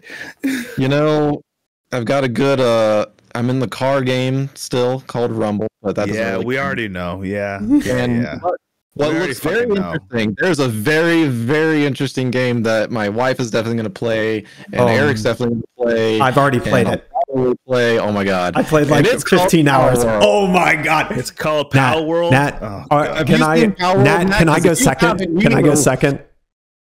yeah yeah, Nat, can I go second? Yeah, sure, sure, Eric. You can go second. So I've been gone. I've been traveling, visiting these guys, all that kind of stuff. And when I get back, uh, I was like, man, what am I going to play? I'm done with Warcraft until phase two. I'm like, I don't care about Oh, any of he's done stuff. until you know what? I'm gonna not. I'm gonna play. Go I'm gonna play for Nat. I'm gonna play for Nat. Just, just to be Uh-huh, fair. uh-huh. So I'm Yeah. looking at a few things. And there are a few things I want to do. By the way, I'm, I'm gonna requisition that we do a Taphaven playthrough, a Lethal Company at some point. I think it'd be a lot of fun. Uh-huh. Um, no uh, I would love to get together and maybe we could do a recording and have a special episode of Lethal That'd be Company. cute. I feel That'd like be that'd be fun. Um, Mhm. But We'll have a Taphaven Plays YouTube channel. yeah, yeah, yeah, yeah. I think that'll be dope. But so I've I've also been playing Cobalt Core, which I'll talk about just briefly because it's a pretty cool concept, but I think it's just missing a few things for me. Um, but Cobalt Core is like a mix between FTL and Slay the Spire, Oh hell yeah! and it's I love FTL. super interesting, super fun, kind of a nice little time waster. You build decks, you get different cards. It's got like that tree structure from Slay the Spire where you select the next place to go. It's got an interesting, weird story where you're in this time loop because of this uh the cobalt core but it's kind of like a singularity event type of deal going on. Very interesting. I just started playing it. Uh and then Palworld came out. The game where you can capture anything, the game where you can build anything, and the game where they have just recently figured out you can capture other humans in the world and Oh, no. then cook them and eat them. And this game is Pokemon, but wild. What? It's insane, Nat, and we need to play it. I started playing it. It is super fun. It's got all the cool stuff of Pokemon with a little bit of cannibalism in it, and it's amazing. Cannibalism. Okay, okay, let's rewind a little bit because the Eric just decided to go all the way to a hundred with this rather than walking you in. So let's uh. reframe this a little bit. So if you watch the trailer, Palworld is a gentle, beautiful world, just like It's really Pokemon. And there's It's really Gyarados not. and They all have- the they- they wonderful have Pokemon Pokemons in front of you fly on till their back. Oh, and it's kind of like it's kind of like Breath of the Wild. You can you can of slaves. It's it plays like Breath of the that Wild. It's stuff. like it, it's it's like a all the- rust. Yeah, Uh-huh. you build up your base. You get resources. Your Pokemon can get resources for you. Stop! Stop! Pals. We The should say pals so we don't get order. sued though. The pals. The Your trailer goes in pals. Order. The trailer goes in order. I am walking you through the trailer. Eric is going backwards. He's Benjamin Guys, Button I've, right now. guys, I've seen the trailer, but I'm. You I'm- have? you know, The yes, pals seen the can equip weapons and guns and shoot your invaders. I'm, like I'm very aware of what Pal World has in store for Yeah. those who play it. and apparently it's Factorio as well. Yes. Yeah, you, uh, man. It is so much fun. It's so cool to just go through this world, find different pals, collect them. It's got like the collection type of deal, but it's also got like the Mhm. base building and stuff from something like Mhm. Valheim. It has really so far, I'm pretty still I'm still pretty early. I've only done the first boss fight, but the boss fight was pretty interesting. It had some interesting mechanics and there's little world mini bosses that you can do that are like epic legendary pals type of deal. Um Hmm. it's got like yeah a bunch of cool mechanics from like breath of the wild where you the exploration is really cool. There's collectibles all over the world. And so you can go around collecting stuff for your base that gives you benefits and stuff like that. And then just to sprinkle on top of it you have a team rocket corollary where it's a team syndicate type of deal. And they go around shooting pals with guns Oh, and just wild. But there's nothing stopping you from locking them in a Pokeball and making them slaves. And yeah. it's just it's crazy the amount of stuff that you can do so far. It's an Mhm. early access game, but it's really fleshed out for an early access game. I, I, I Mhm. honestly don't know that I've seen another early access game this fleshed out before. And that's really cool. Uh, It's got 'cause- crazy reviews on Steam right now. yeah, it is. It is a very fun time. yeah. I mean, it's it's breaking Steam. It's sold like so many millions of copies. It's like number six in the history of Steam right now. yeah, it is honestly really really cool. Um, it's a lot of fun, Concurrent players, I think. and you something can play co-op, and you can have your own little world going along, and it's it's just a lot of fun. So I I've been playing that the past few days. Tiny, tiny little note before we go back to Pal World. That's the best part about um, Lego Fortnite is I created a world and I can share it with six other players. I think, and so if we all had a world, we can play separately. Unlike Valheim, where You had to play. You gotta be there. Yeah, yeah. or you got to go through a ton of hoops to set up your own server. It's so nice just to be like, wife, you can play anytime without me. I can play anytime without you. We can play together. It's so great. Yeah. And does Pal you- World do that? So Palworld does have uh, dedicated servers, um, uh, but you can also host your own. There are some benefits or cons to to hosting uh, or having a dedicated one. Um, I don't know the details too much yet, but they do have dedicated servers and they do have uh, ones that you can host. Okay. And are so are they private servers? Private dedicated servers? Uh, let's see. You want to make a private? Yeah, it says play Palworld dedicated server. If you want to make a private server, um, looks like you can. Yeah, have your own little private server going. And they have a server status page. Now, I will say their server has been down for a majority of the release. Mhm. There's just been too many people playing. Um, they did not attempt, anticipate this. Oh, I, I don't think so at all. Like the amount of people that are playing Palworld is absolutely wild. I think I've heard some it's. skeptical things about the company as well. Uh, I Oh. a lot of the things that I see are related to the fact that they took their old game Mhm. and then reused a lot of their assets to make this one.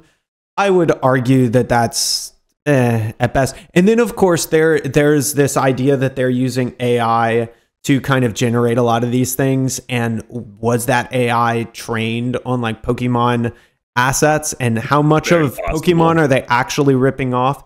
The only thing I would say to kind of that type of thing is that there's a lot of legal stuff they have to figure out in regards to that. Mhm. And there's obviously a lot of corollaries to Pokemon. Huge amount of Yeah, Well, I'm sorry, that- but like, I know that uh, I, my we brought up AI for this sort of thing, and in my opinion, if you're using it as a tool, that's fine.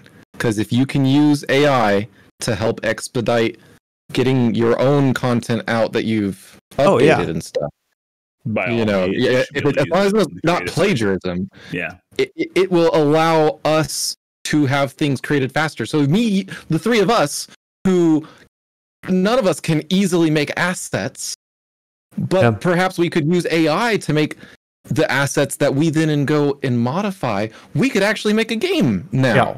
Without And, uh, having to have a friend or pay someone that knows how to do that. A And hundred that's percent great for everybody because there's a lot of people out there with great ideas agreed. and it's just going to allow them to make those great ideas a reality. I agree wholeheartedly with that statement. Like, regardless of the legalities, which they have to figure out, that is outside of my wheelhouse. I don't know what they're going to figure out there, how they're going to like orient orientate it, you know, and stuff like that. But there are kind of two core issues. One, they used AI. Might have, might Yeah. not have been trained to Pokemon. Yep. I don't find any issue with that. The end result is that they have some cool fucking Pokemon that look similar, or cool pals that look similar to Pokemon, but like they're different. And they have their own move sets and they're doing all kinds of interesting things. It's not unrealistic to have a lightning type pal that shoots a lightning bolt. There's only so many lightning style things you can do, right? So Yeah. to argue that, like, oh, they ripped off Pokemon, of course they did. Everybody rips off ideas from everybody else.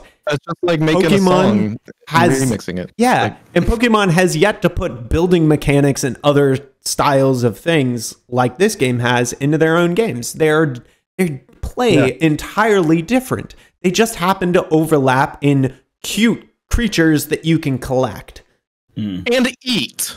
and eat. And Wow. so you have that aspect of it. And then you have the other aspect where they're like, oh, we reused game assets that we created for our previous game. And I'm like, anything you That's can do to save time. Yeah, like anything you can do to save time there is totally good. And I can understand that some people are up in their high horses th- that I've seen to kind of like go against this company that is probably defacing something that they have treasured for most of their life, being Pokemon. But I think to have that sort of brand uh, loyalty to the extent where you're not willing to see that a product might or might not be better or different in interesting ways, and you're just bashing it because it's quote unquote like that brand, but different and worse in ways that you think it's worse. I, I, I think that's just ignorant to some degree, right? Like, Mhm. like yeah, if they were to take Pikachu and start defacing Pikachu, which is an IP owned by Game Freak, like sure, get up in arms about it if you want, if you care about the brand that much. But to have somebody create something that's slightly different but uses the same generic principles and then try to improve that, and maybe they didn't improve it the way that you think it should be, that doesn't mean that all of a sudden it's legal problems, right? The, the the legal issues are going to sort themselves out between those companies as they see fit and they're going to come to a decision there but from a like game perspective if you like rust if you like lost ark those styles of games and you like collecting things or pokemon like games this game's right up your alley it does both of those features really really well there are some things that they're going to flesh out throughout early access to make it better i feel there's a lot of little tedious things that'll flesh themselves out but man it's got a lot of cool features too so it's a lot of fun. It's been a lot of fun. Um, I'm excited to play it more and collect more pals and all that kind of stuff. It definitely has that like it scratches that itch of like collecting stuff really, really well. And because you have to go out and like explore and find these things in the world, and while you're doing that, you find dungeons and other things and collectibles. It just has a really nice mix. I will say it's one of the first open world games where I'm exploring and none of the landscape is uninteresting. I like climb a hill and there's like a bunch of pals like of a different type that I've never seen before, like on the other grazing and doing interesting stuff. And I'm like, Hmm. even though they have no collectibles or anything else there, I can go around catching these pals and like bringing them, them back to my base just because I explored to this one area. And like, it just makes the world feel really dense and saturated and interesting in a way that other open world games, these th- same things might be replaced with like monsters that you have to kill. But in this game, finding pals gives you resources and things to do with those pals that other games can't solve. So where one may have a monster there, it still feels empty. But in this one, you're like, oh my gosh, here's a total a field of things that I need. And I need to figure out if they do the stuff in my base that I need them to do. Because if I do, I can farm this area that has nothing else in it. It's a totally empty area, quote unquote. But this game quote unquote. makes it feel like it's dense and populated and interesting, which is really cool. Um, unlike other open world games that I've played, especially when it comes to like Rust and Valheim and others, which are great in their own rights and have different things that are amazing about them. But I would argue that they don't have the interest in all of its areas equally like this game does.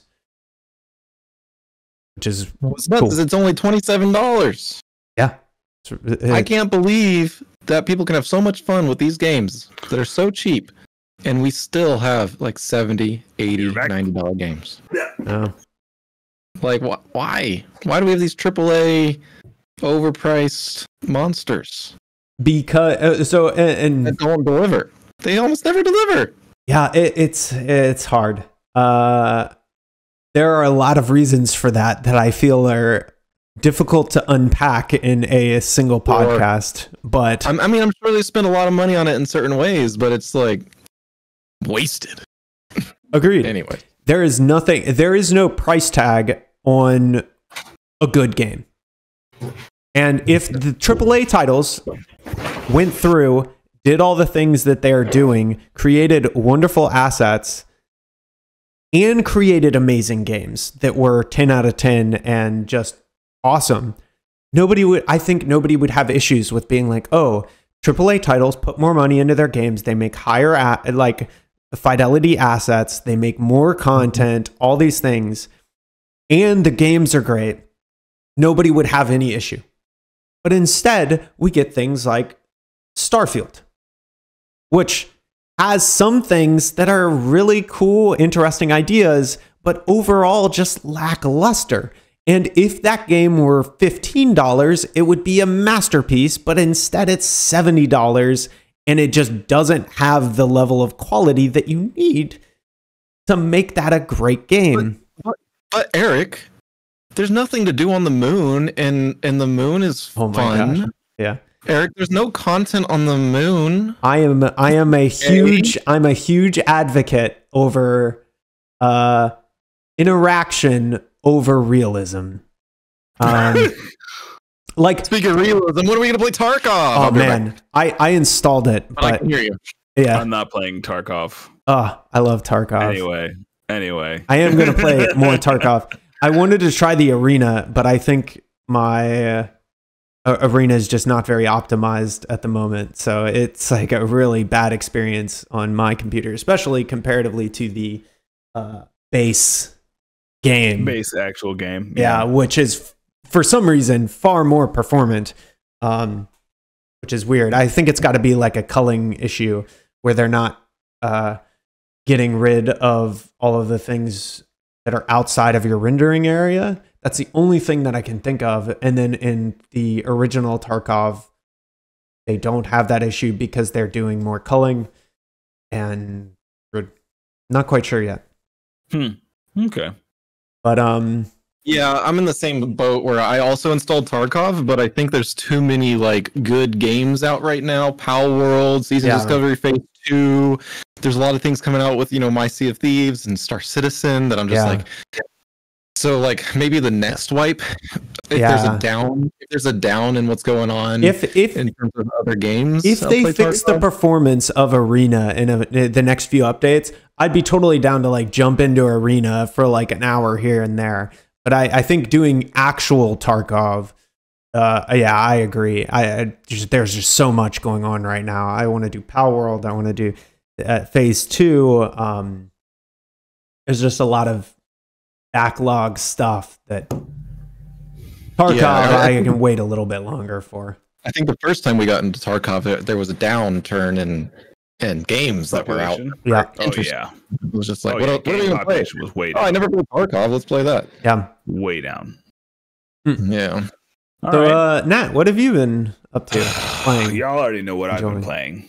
life? Uh, I've been playing life, but I've also recently picked up Monster Hunter World again. Yes, I saw. of- because of the release of the announcement for Monster Hunter Wilds, there's been an, a there's been a big upturn of people playing it. Uh, I recently watched a streamer that probably most people who- are listening to this uh, know of Asmongold. I watched him go from the beginning of the game all the way to past where I have played because I Yeah. haven't beaten Monster Hunter World as as I have come to realize. Like, I I beat it when it came out, and then did you? Yeah, Did No. you? No, no, no, no. no. He did not. You no, you did not. Did you beat Fatalis? Right. I don't even know who that is. He Fata- beat- Fatalis wasn't there in the campaign. initial in, in the was initial Exactly. release. So we have not beaten the game, Eric. No, no, no, no. I I'm How not did- saying no, that. No, no, Eric, I, I, and I'm and I'm I, I'm fully aware of the fact of what you're about to say. You have beaten the base game, absolutely.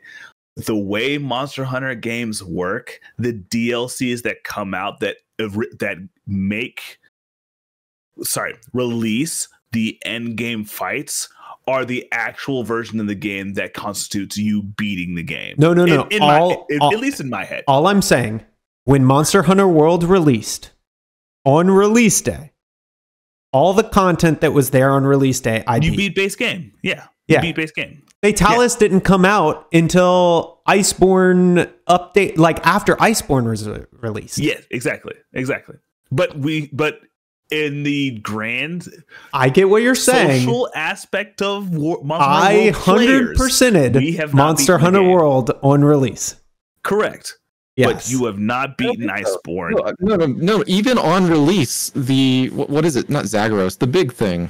What, not, oh yeah, no, I I went through and beat Yeah. all of the release.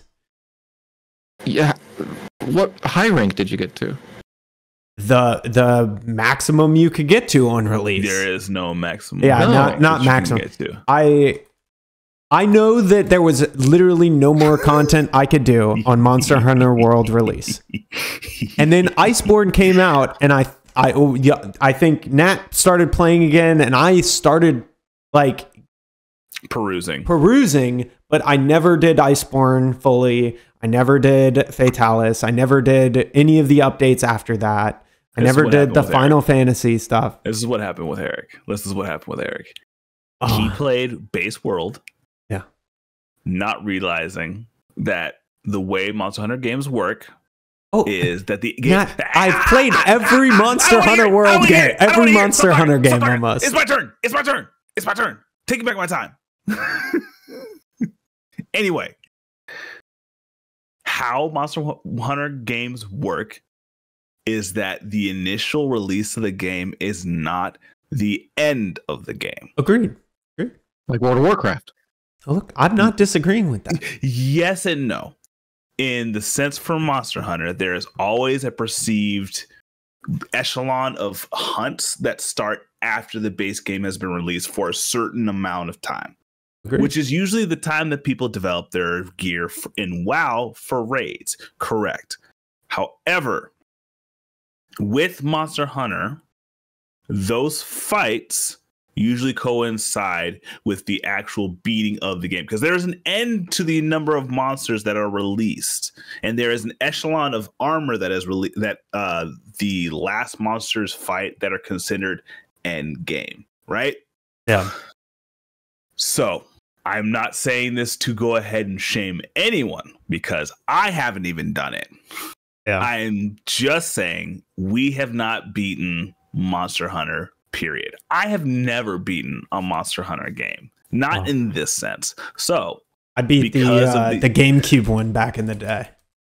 you beat end game fights. What is the GameCube fight? What is that? Three? Is that Tri? I think it is Tri. I'd have to look at the um You'd have to look it up. Anyway, I'd have I'm not. I'm gonna the wait for you to go ahead and look that up. Anyway, I'm playing Monster Hunter World Iceborne.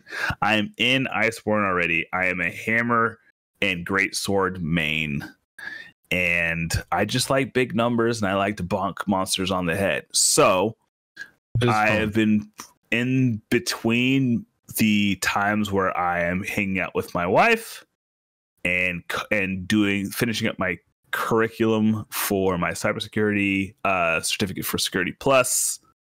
I am playing Monster Hunter World because it is easily the most unga bunga turn my brain off and like focus on something a little bit more rudimentary of just like tech uh uh know- dexterous skill exper- uh, expression rather than me trying to download information into my brain. You know how good that is for you? We What? got this advanced like health tracking sleep tracker thing. And Yeah. uh when I'm playing a game like what you're describing, it'll be like, Yeah, you slept for like uh 12 hours today. Yeah. It started at 3 p.m. like, like, Your what? body you slept from 3 p.m. down. to 8 a.m. Like, oh, okay, yeah. It means you literally had no other motion other than your fingers for like a, for 12 hours. You just froze in place. yeah, and when you're mentally and physically tired, that's good.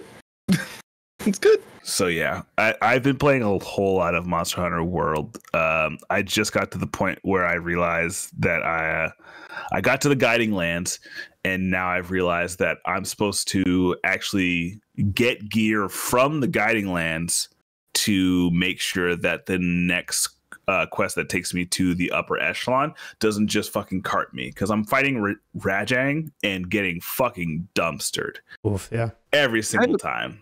I have a question. Yeah. Is it hard to go back to Monster Hunter World after the mobility you gain in Monster Hunter Rise? No. Really? No. So uh what it will teach you is that you have really bad habits Really? in terms in terms of fighting monsters. So if we were to compare before Rise and, and after Rise, there is a skill in Rise that allows you to uh as soon as you are staggered or done if there's anything done to you, you can use a wire bug to just pull yourself completely by multiple frames out of the range of whatever it is that is coming towards you. that it, it is bad. It is You're bad. saying that Rise is like build. easy mode? Rise is not easy mode. Rise is more fast paced and um, That's kind of what I was more almost getting at. Like, fantastical. is it annoying to have a slower game? Like, isn't World just No. slower getting I to would- the action? I or would say that slower? it is a different flavor. You are Really? you are much more tuned into the behaviors and the emotions of the monsters.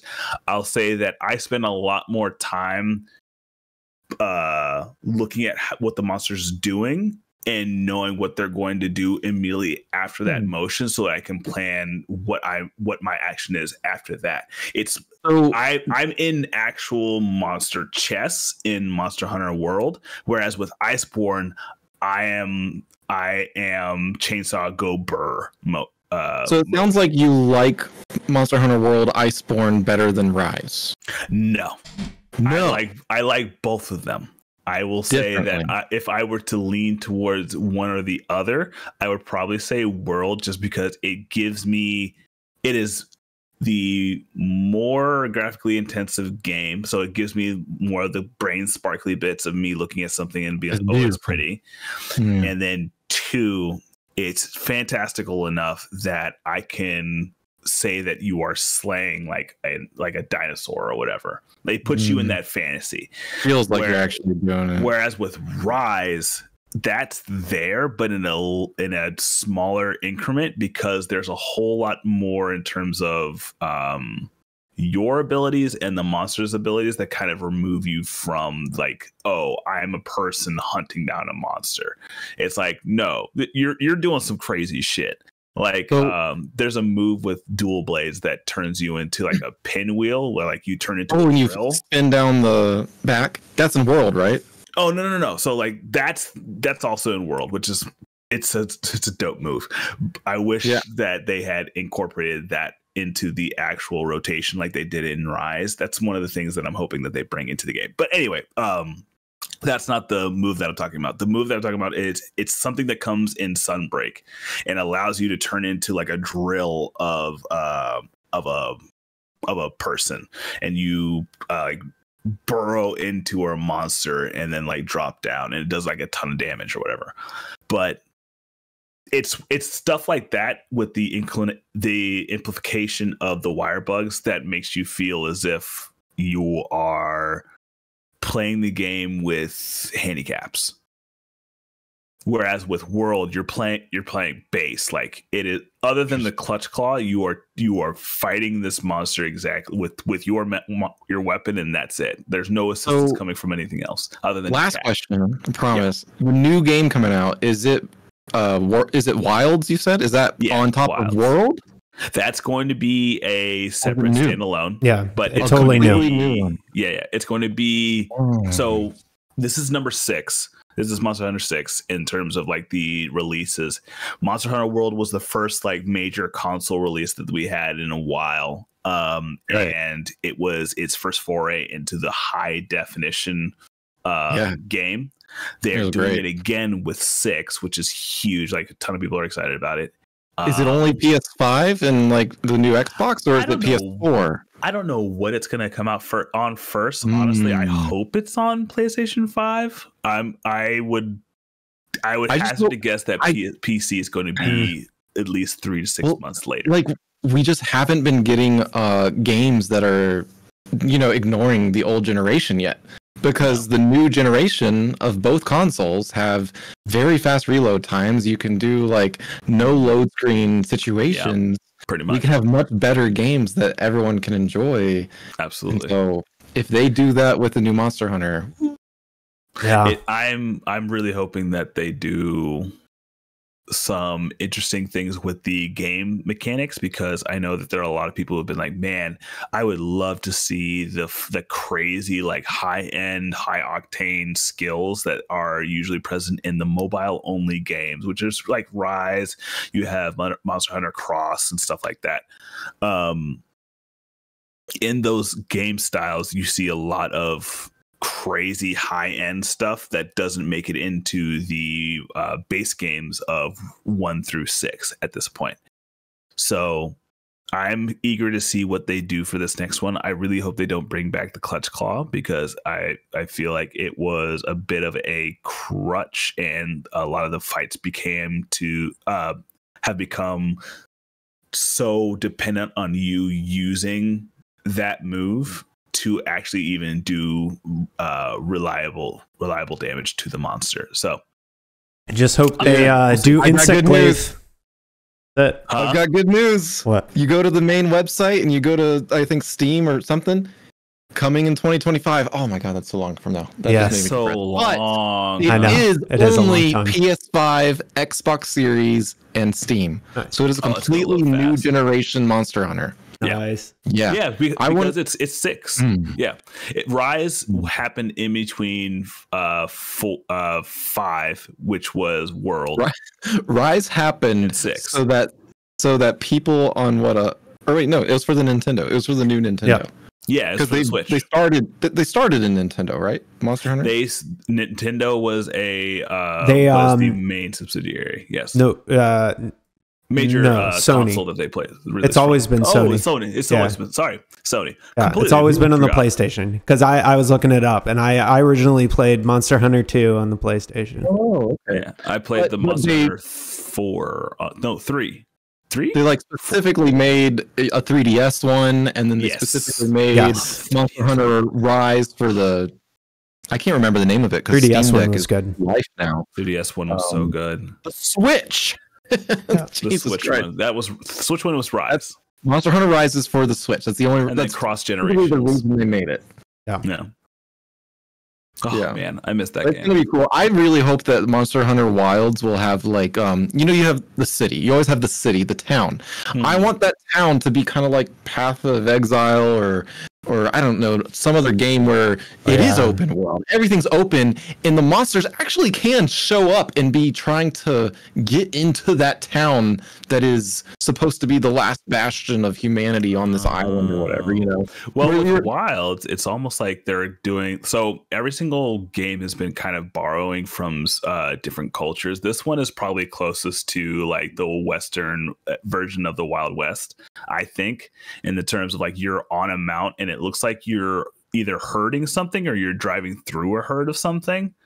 And in my head, I'm like, oh, you have to do escort quests or something like that, or you're you're doing uh, some form of uh, corralling or capturing that re- re- uh, requires you to lasso a monster and pull it down or something like That that. would be dope. Like, I think there's going to be some really cool pieces where like you use your mount almost as a separate partner that like you'll lasso something up and you'll get off your mount and your mount will keep on pulling it in a certain Yeah. way that allows you to i don't know utilize in another fight. Because maybe it turns into a tug of war with your uh, mount behind something. I don't know.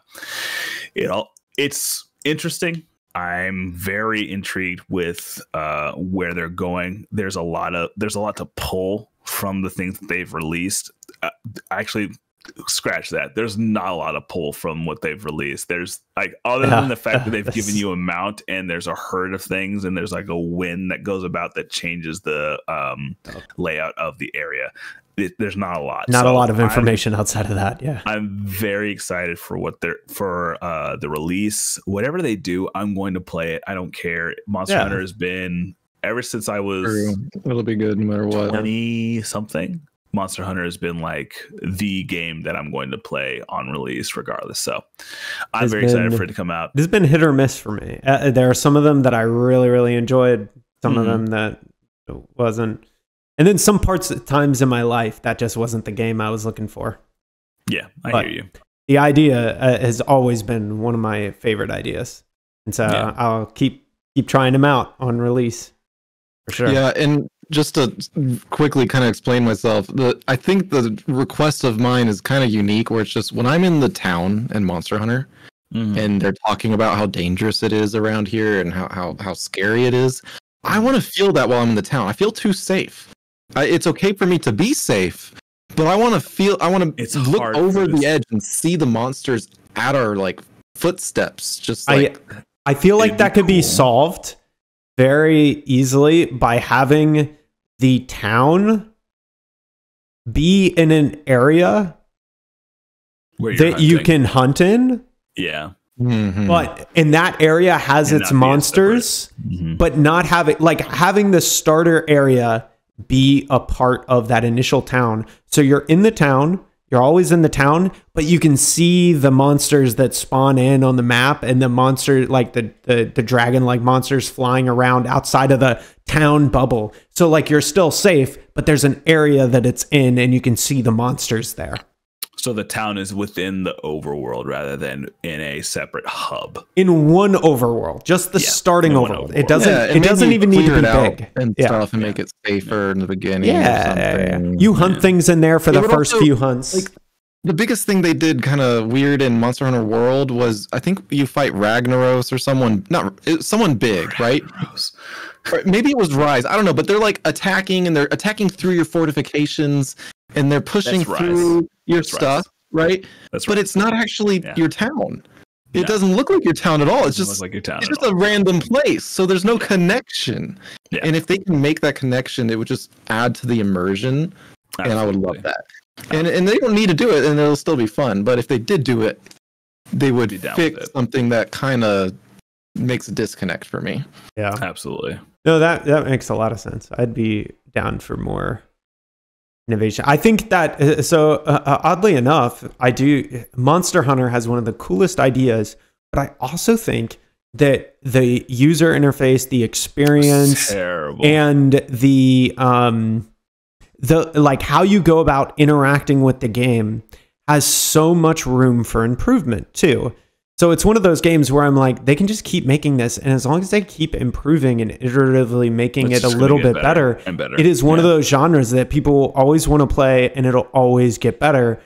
And so that's And always really it'll to the exciting too. It'll pop. It'll get to the point where it'll pop off. Like World was really close. Um, I think again the UI, as you mentioned, is really hard to get your mind around. There's So, uh, not a lot. Of, it's a lot of menus. It's Yeah. not very attractive in terms of like getting pers- a person involved. However, that being said, I've tried to think about how they're going to renovate that, and it's it's a daunting task because like you have a whole bunch of systems that exist that touch that talk with each other but they do not share a lot of common repositories. Like your equipment can't your equipment and and your decorations and your um your equipment your decorations and your pouch should operate within the same like uh menu. However getting them to actually be individualistic to where you can actually make the the required edits is kind of daunting because then you just have submenus and submenus are even worse. So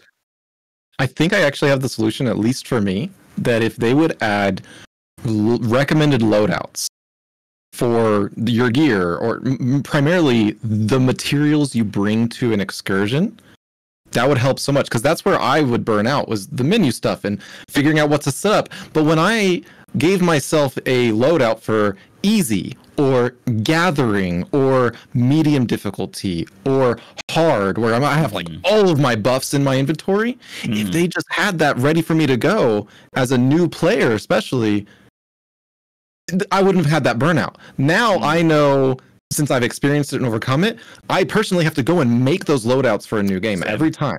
And if I make them, I'll be fine. But Oh. if I don't, I'll go to the game one day and I'll be like, I don't want to manage my Remember any of inventory and I'm not yeah. going to play it. yeah. The same thing happens with me with like Stardew Valley. I love it. I get far into it. I take a small few weeks break. I come back and I'm like, there's shit everywhere. I don't know what to do here. What's the solution? Oh, it's in a chest. You don't have to go find it. You don't have to organize your chests. Every crafting thing in your farm will just pull from it automatically. And I think Palworld does that. If I if I heard right when I was watching Strip and Play, Yeah, it's it's just all together. You just you just shove stuff in a chest, and as long as it as long as it's in your town, everybody has access to it. And when you're no crafting it, to uses it. that. Yeah, That's, not fun yeah. for anybody, and it, Agreed. and it burns you out Yeah, when you come back. you every every game developer You, that is like developing a game, and if for some reason they're listening to this podcast, like you just have to remember that people are playing games because the interaction that they are having with this game is enjoyable in some way. And so when you're designing and making games, focus on the interactions that are fun and eliminate interactions that are not fun. Mm-hmm. yeah, know- it's that easy. Yeah. and, and surprisingly, surprisingly, Lego Fortnite has that problem where mm-hmm. I started playing it and it's great, but then inventory management hell happens. yeah. And it's almost okay because at some point it's like, oh, now that I have all of the crafting things, at least so like I have a lot of them, like nine of them. I'm like, okay, I can see that I should put a chest by all of them and these things go in that chest. But what ruins it is when you have a material that's used on multiple crafting stations. Huh? And so now it's like, well, where does that one go? It's Just fucking pull from the chests in your town. And and no one has to freaking have the boring ass game it's- of managing their Uh, inventory. yeah, it's just like the the weight systems in a lot of game games where you you can only carry like 150 pounds or something like that. Right. And then you're going around and you're picking up stuff and you're picking up everything. And you figure out that 90% of your inventory is crap that you're never going to use, that is not necessary, that isn't needed, and is just filling up your weight. Baldur's Gate has this problem uh, in some ways, right? Or Divinity Original Sin 2. Uh, uh, those are just the first two come to mind. But a lot of that stuff you're never going to use. So you're just, you have to go through and delete it or manually clean it up. And there's an easy solution if it isn't useful, if you cannot use it for something, why is it in the game? And Hmm. Baldur's Great Gate solves this by having just like going overboard with it to almost a comedic, interesting level where they're like, "Oh yeah, you can pick up everything. Good luck, have Everything fun." is right? pickable. You And then- dumbass. Yeah, and then you and then part of the engagement with the game is determining what is trash and what is not trash, and that becomes interesting. But essentially, you have to go one of two ways. You have to go the Baldur's Gate 3 path where everything that figuring out what you need to pick up is part of the puzzle, or you need to go to the path where everything that you pick up is interesting and usable. That way when you run out of weight space, you have to decide between two things that matter, and that decision has like implications to it that make it interesting of like shit I need a lot of stone or I need a lot of wood. I can't carry all of them. And I have to go back to town, which is going to do X, Y, and Z and take a lot of time. And if I go back now, like now you have to think about it. That extra step of like interest level makes it interesting. But I hate hate it whenever two games. things. One, there's a balance of having a limit to how much of a crafting material you can pick up, Yeah, and having like a sleep mechanic and having survival mechanics. agreed, and, agreed. and eating mechanics that can be enjoyable Agreed. in, in a way having certain limitations can be enjoyable but the biggest one that you brought up that is terrible is getting is not being able to get rid of shit lego fortnite you can't just delete something you have to throw a bunch of useless shit all over the place until it despawns valheim i'm pretty sure still doesn't let you delete things you have to eventually craft the thing Yeah. that deletes things Yeah, that's annoying. What? I hate True. that. Yeah, You need a it's so. button. Oh, it's Mm, rough. Stardew Valley has a delete button that you drag it to the trash. Like, I- come on. I'm pretty sure I've seen a YouTube video where a group of guys built a giant, uh, like had a giant pit or cliff near them in Valheim, and it was their trash cliff, and they would just throw stuff off. Bro.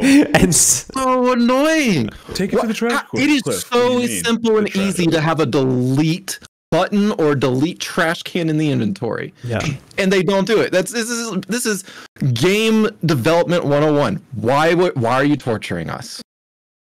because it makes. It makes I think it's an oversight. I, I honestly think makes it's an money. oversight. I I think it's uh, initial planning oversight, but I would argue that 90% of the time they're developing this in the right way. And then once they think about that problem, they've designed the system wrong. And that's probably what happens. So they start the game and they're like, okay, we need an inventory. Cool. Code an inventory. Awesome. Okay, we need this combat thing and we need some weapons and equipment. Okay, code those things.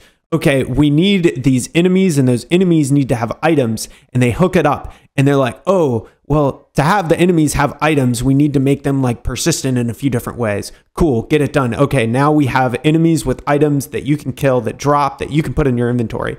And then they're like, cool, all those systems are good. And then some developers playing it, man, like, man, there's a lot of shit. Let's add a delete button for the inventory. Man, and their and their lead developers like, eh. We can't delete stuff. Are you crazy? That'll break everything. Yeah, yeah, a hundred percent. I I think it's like on one hand, yes, I consider that oversight, but on another hand, I think the process that I just explained happens over like a year of minor Yeah. changes. And then when they get to the point where they're like, oh, now we're having a problem where we need to delete stuff, they're like, crap, that's going to be like uh, a few hundred man hours of work to redesign our inventory system so that it, we can do that. And at that point, they're like, uh, fucking work on the other stuff first. We'll get to that at some point. Like, that's, uh, and honestly, we're kind of being pedantic over that. Like, regardless of whether we hate the inventory deletion system of Valheim or not, has it stopped Valheim but from being one of the most successful early access Absolutely games not. ever made? No. Absolutely not. So it's obviously not a big enough issue for them to waste some amount of time on it. We just don't we don't have a clear insight as to what the time investment is to like fix that as a feature, you know. And so that's the that's the thing. Now, I would say if it's a design intention by the Valheim team, I would argue that's like a weird bad design.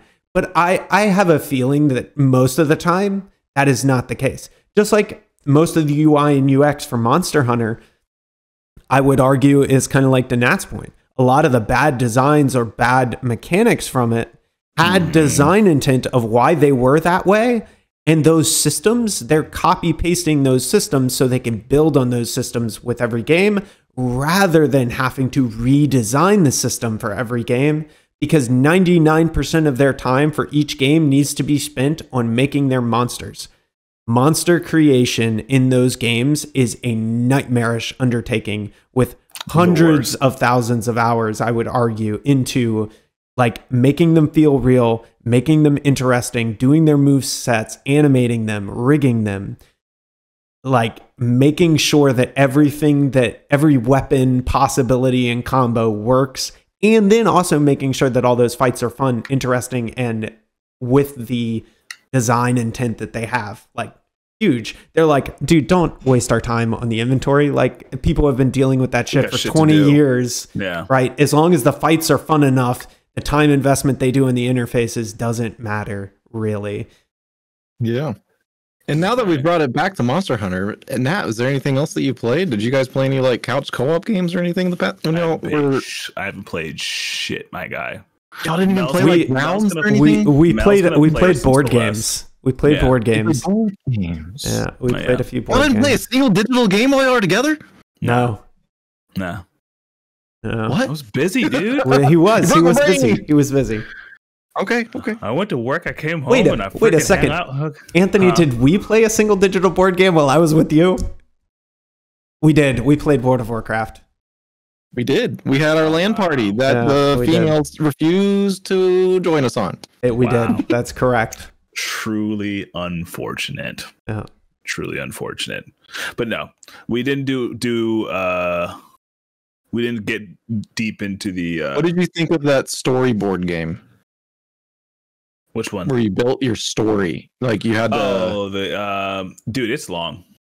It is. it is long, and if you Well, are and- not, And Nat Uh, played a special version of that, by the way. It was yeah, a little bit more interesting than the, the to us probably than the one you played, Anthony, because the one he played was Brandon Sanderson specific. So if you've read all the Brandon Sanderson novels like we have, me and Nat were sitting there like, dude, it's the thing. Like every other card, we're like, oh, that's that's this. And so it was it had a lot of like cool tie-ins.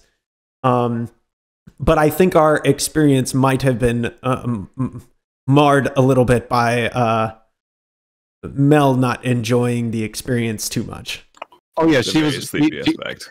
She shared that on Instagram, and uh, Eric's wife reposted it, and I saw it, and I thought Eric's wife was saying, "I hate this game," and I was like, "Wait a second! When she was here, she's the one who wanted to play it. I thought That's that's I her favorite Eric's wife game. Loved this game, and yeah, I was just so confused. I was like, I was like, I go and ask my wife. I was like, I thought Bon V wanted to play this, Yeah. It's Nah, dude. and I was like, I was like, no, Nah, dude. Look, it's it's a repost. yeah. So It is a repost, I was like, repost. No, that is there was yeah. it that- was a it was an experience of there are certain games that can be played during the week involving my wife and myself with the level of energy that we have during that time that was not a game that we could fully engage with knowing that we had to work tomorrow Yep. I think if it maybe if it wasn't for the point system, maybe you would have enjoyed it more because that's the only thing I don't care about for that game.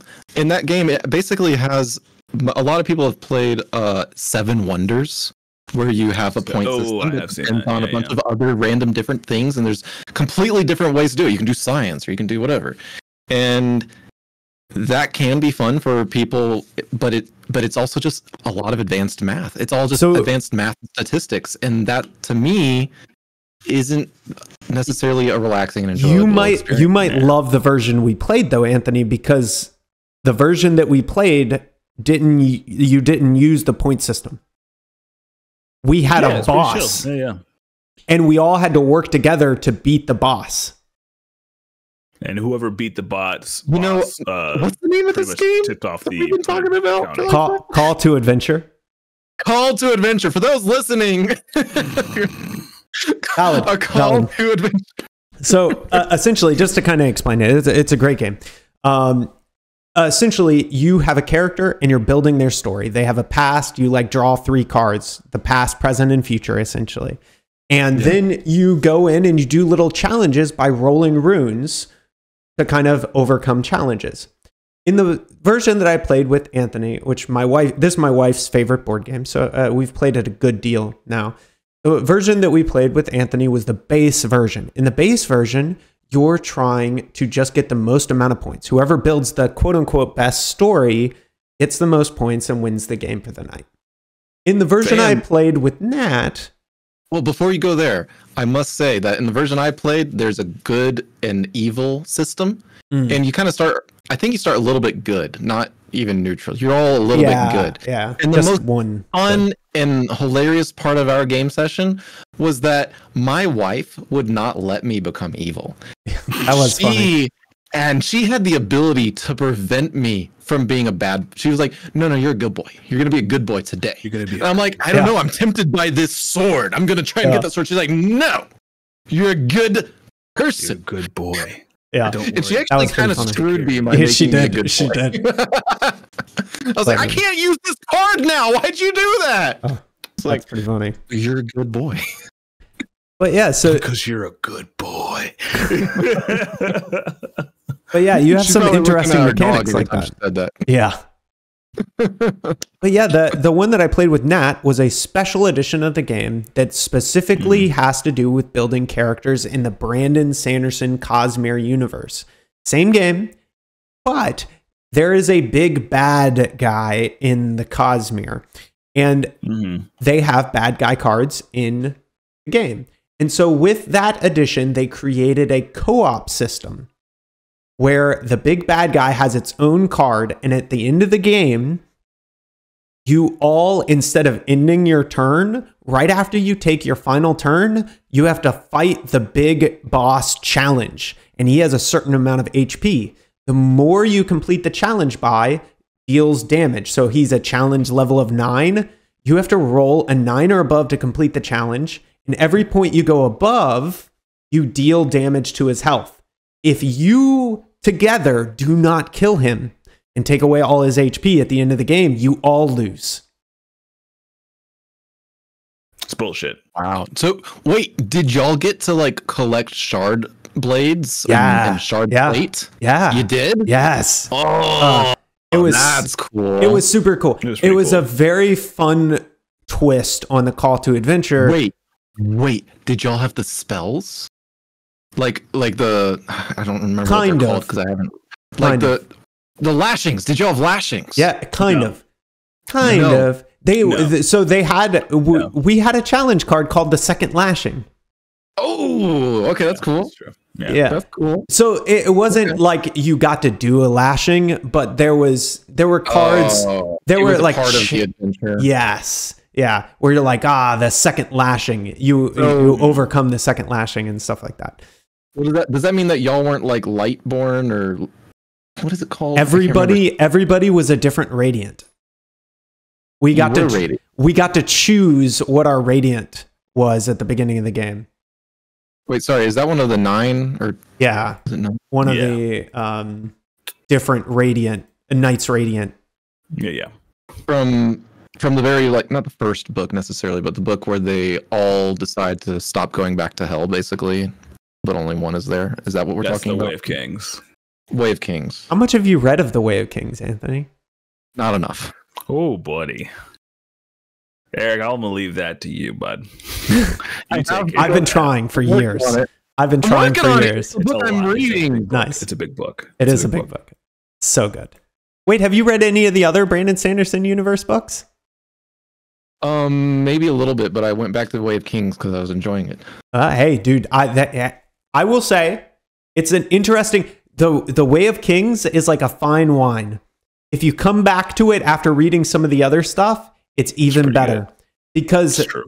but I will say I also started with the Way of Kings and I loved it even knowing none of the secret hints that they're giving you in the books. But when you mm. go and read his other stuff and come back, you're going to be like, "Holy shit, that was in this book." Holy shit, they referenced this, right? And that's such a cool experience. It's it's mm. good enough to where I fully recommend reading the entirety of The Way Kings because that's how I started, and I think that's the best book to start with. But I will say that if you read it first, you will have to read it again after you come back and read everything else because it'll change the way you think about it. when you read it a second time after knowing all the information, which is really cool. That's, that's my favorite kind of book, Yeah, honestly. yeah, yeah, yeah. It's, amazing enough to make you read it through, but then the rereadability is insane. Yes. And that's what I want. So Yeah. to wrap this, my friends, Oh. your suggestion, the thing that you're offering for your end, is that the Way of Kings, or are you saying that the what? What is the one thing that you were wanting to kind of like give to people to be like, hey, you should really check this out? Oh yeah, the the Brandon Sanderson Cosmere is amazing. Uh, Mm. definitely worth a read. He's my favorite author. I'm biased.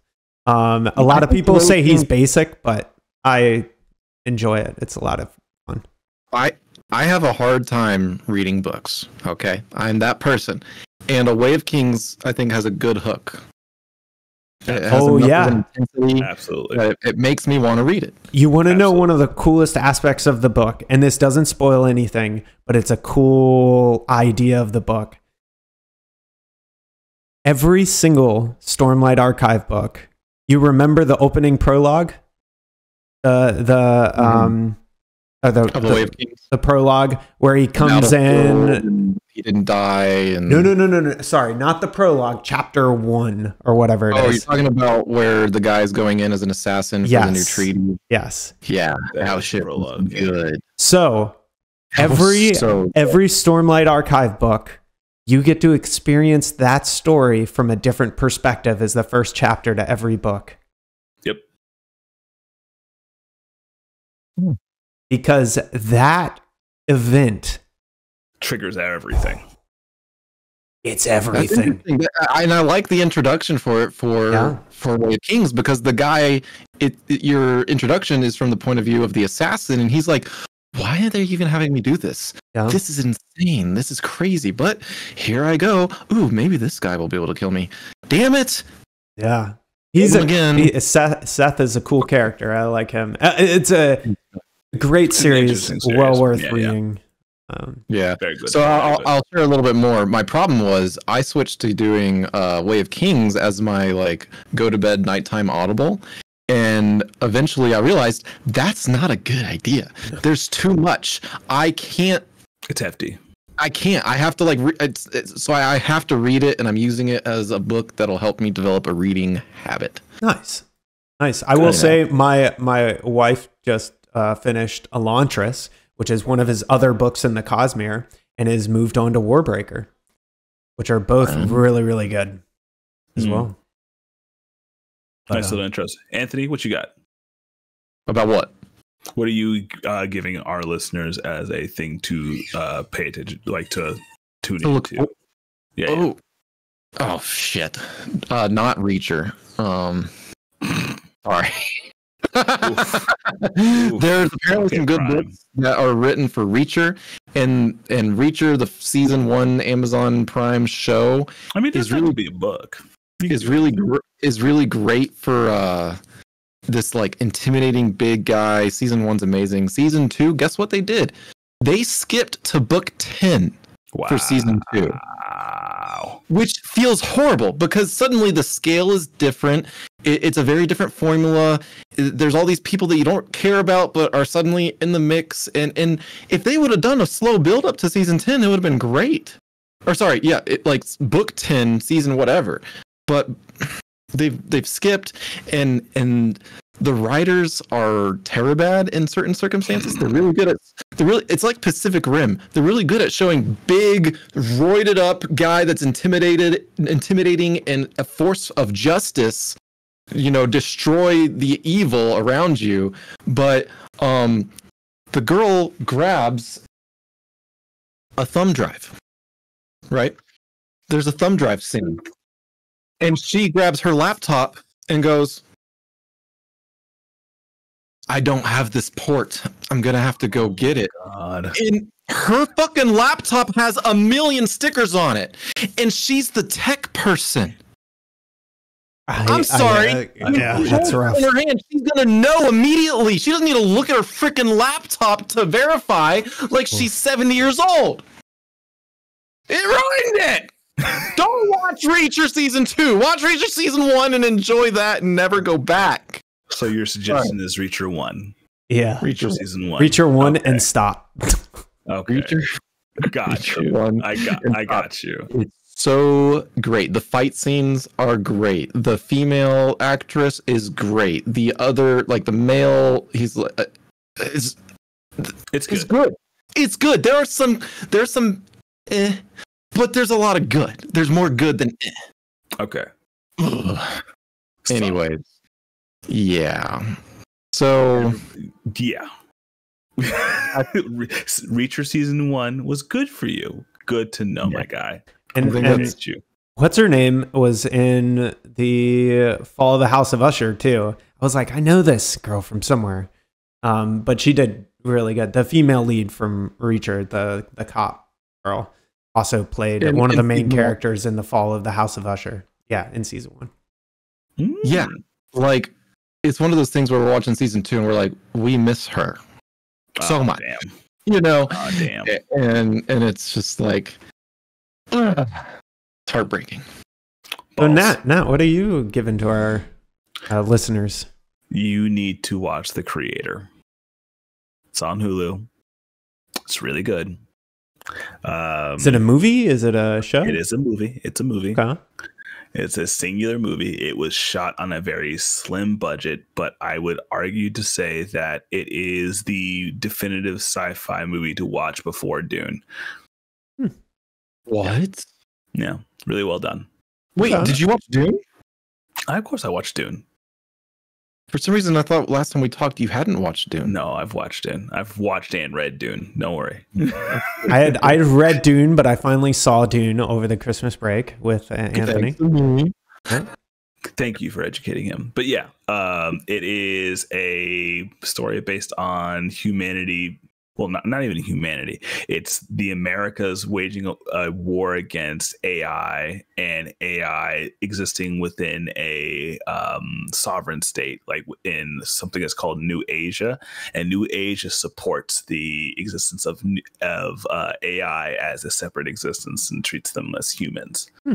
So it is the story of a super weapon developed by uh, the creator of the AI to battle this um, newfound stigma against AI. Nice. You have to watch it. It's good. Yeah, looks pretty good. It's fantastic. Oh, Oh, well, cool. what are we? When are we doing this next there, boys? Yeah, I think Tomorrow. no, no, no, probably not tomorrow. But No, um, tomorrow. uh, yeah, I think maybe next weekend, uh, like we should do it again. Uh, and we'll we'll get another episode out for y'all. Um, but with with that, we'll conclude episode seven. Episode seven. Episode That was seven. a long one. yeah, that was a long one. Seven. Oh, thank you, because my notes are off by one. Oh no, that was episode Buddy. seven. I got I got them all. But buddy. yeah, everybody have a good week, and we'll catch you in the next one. Peace.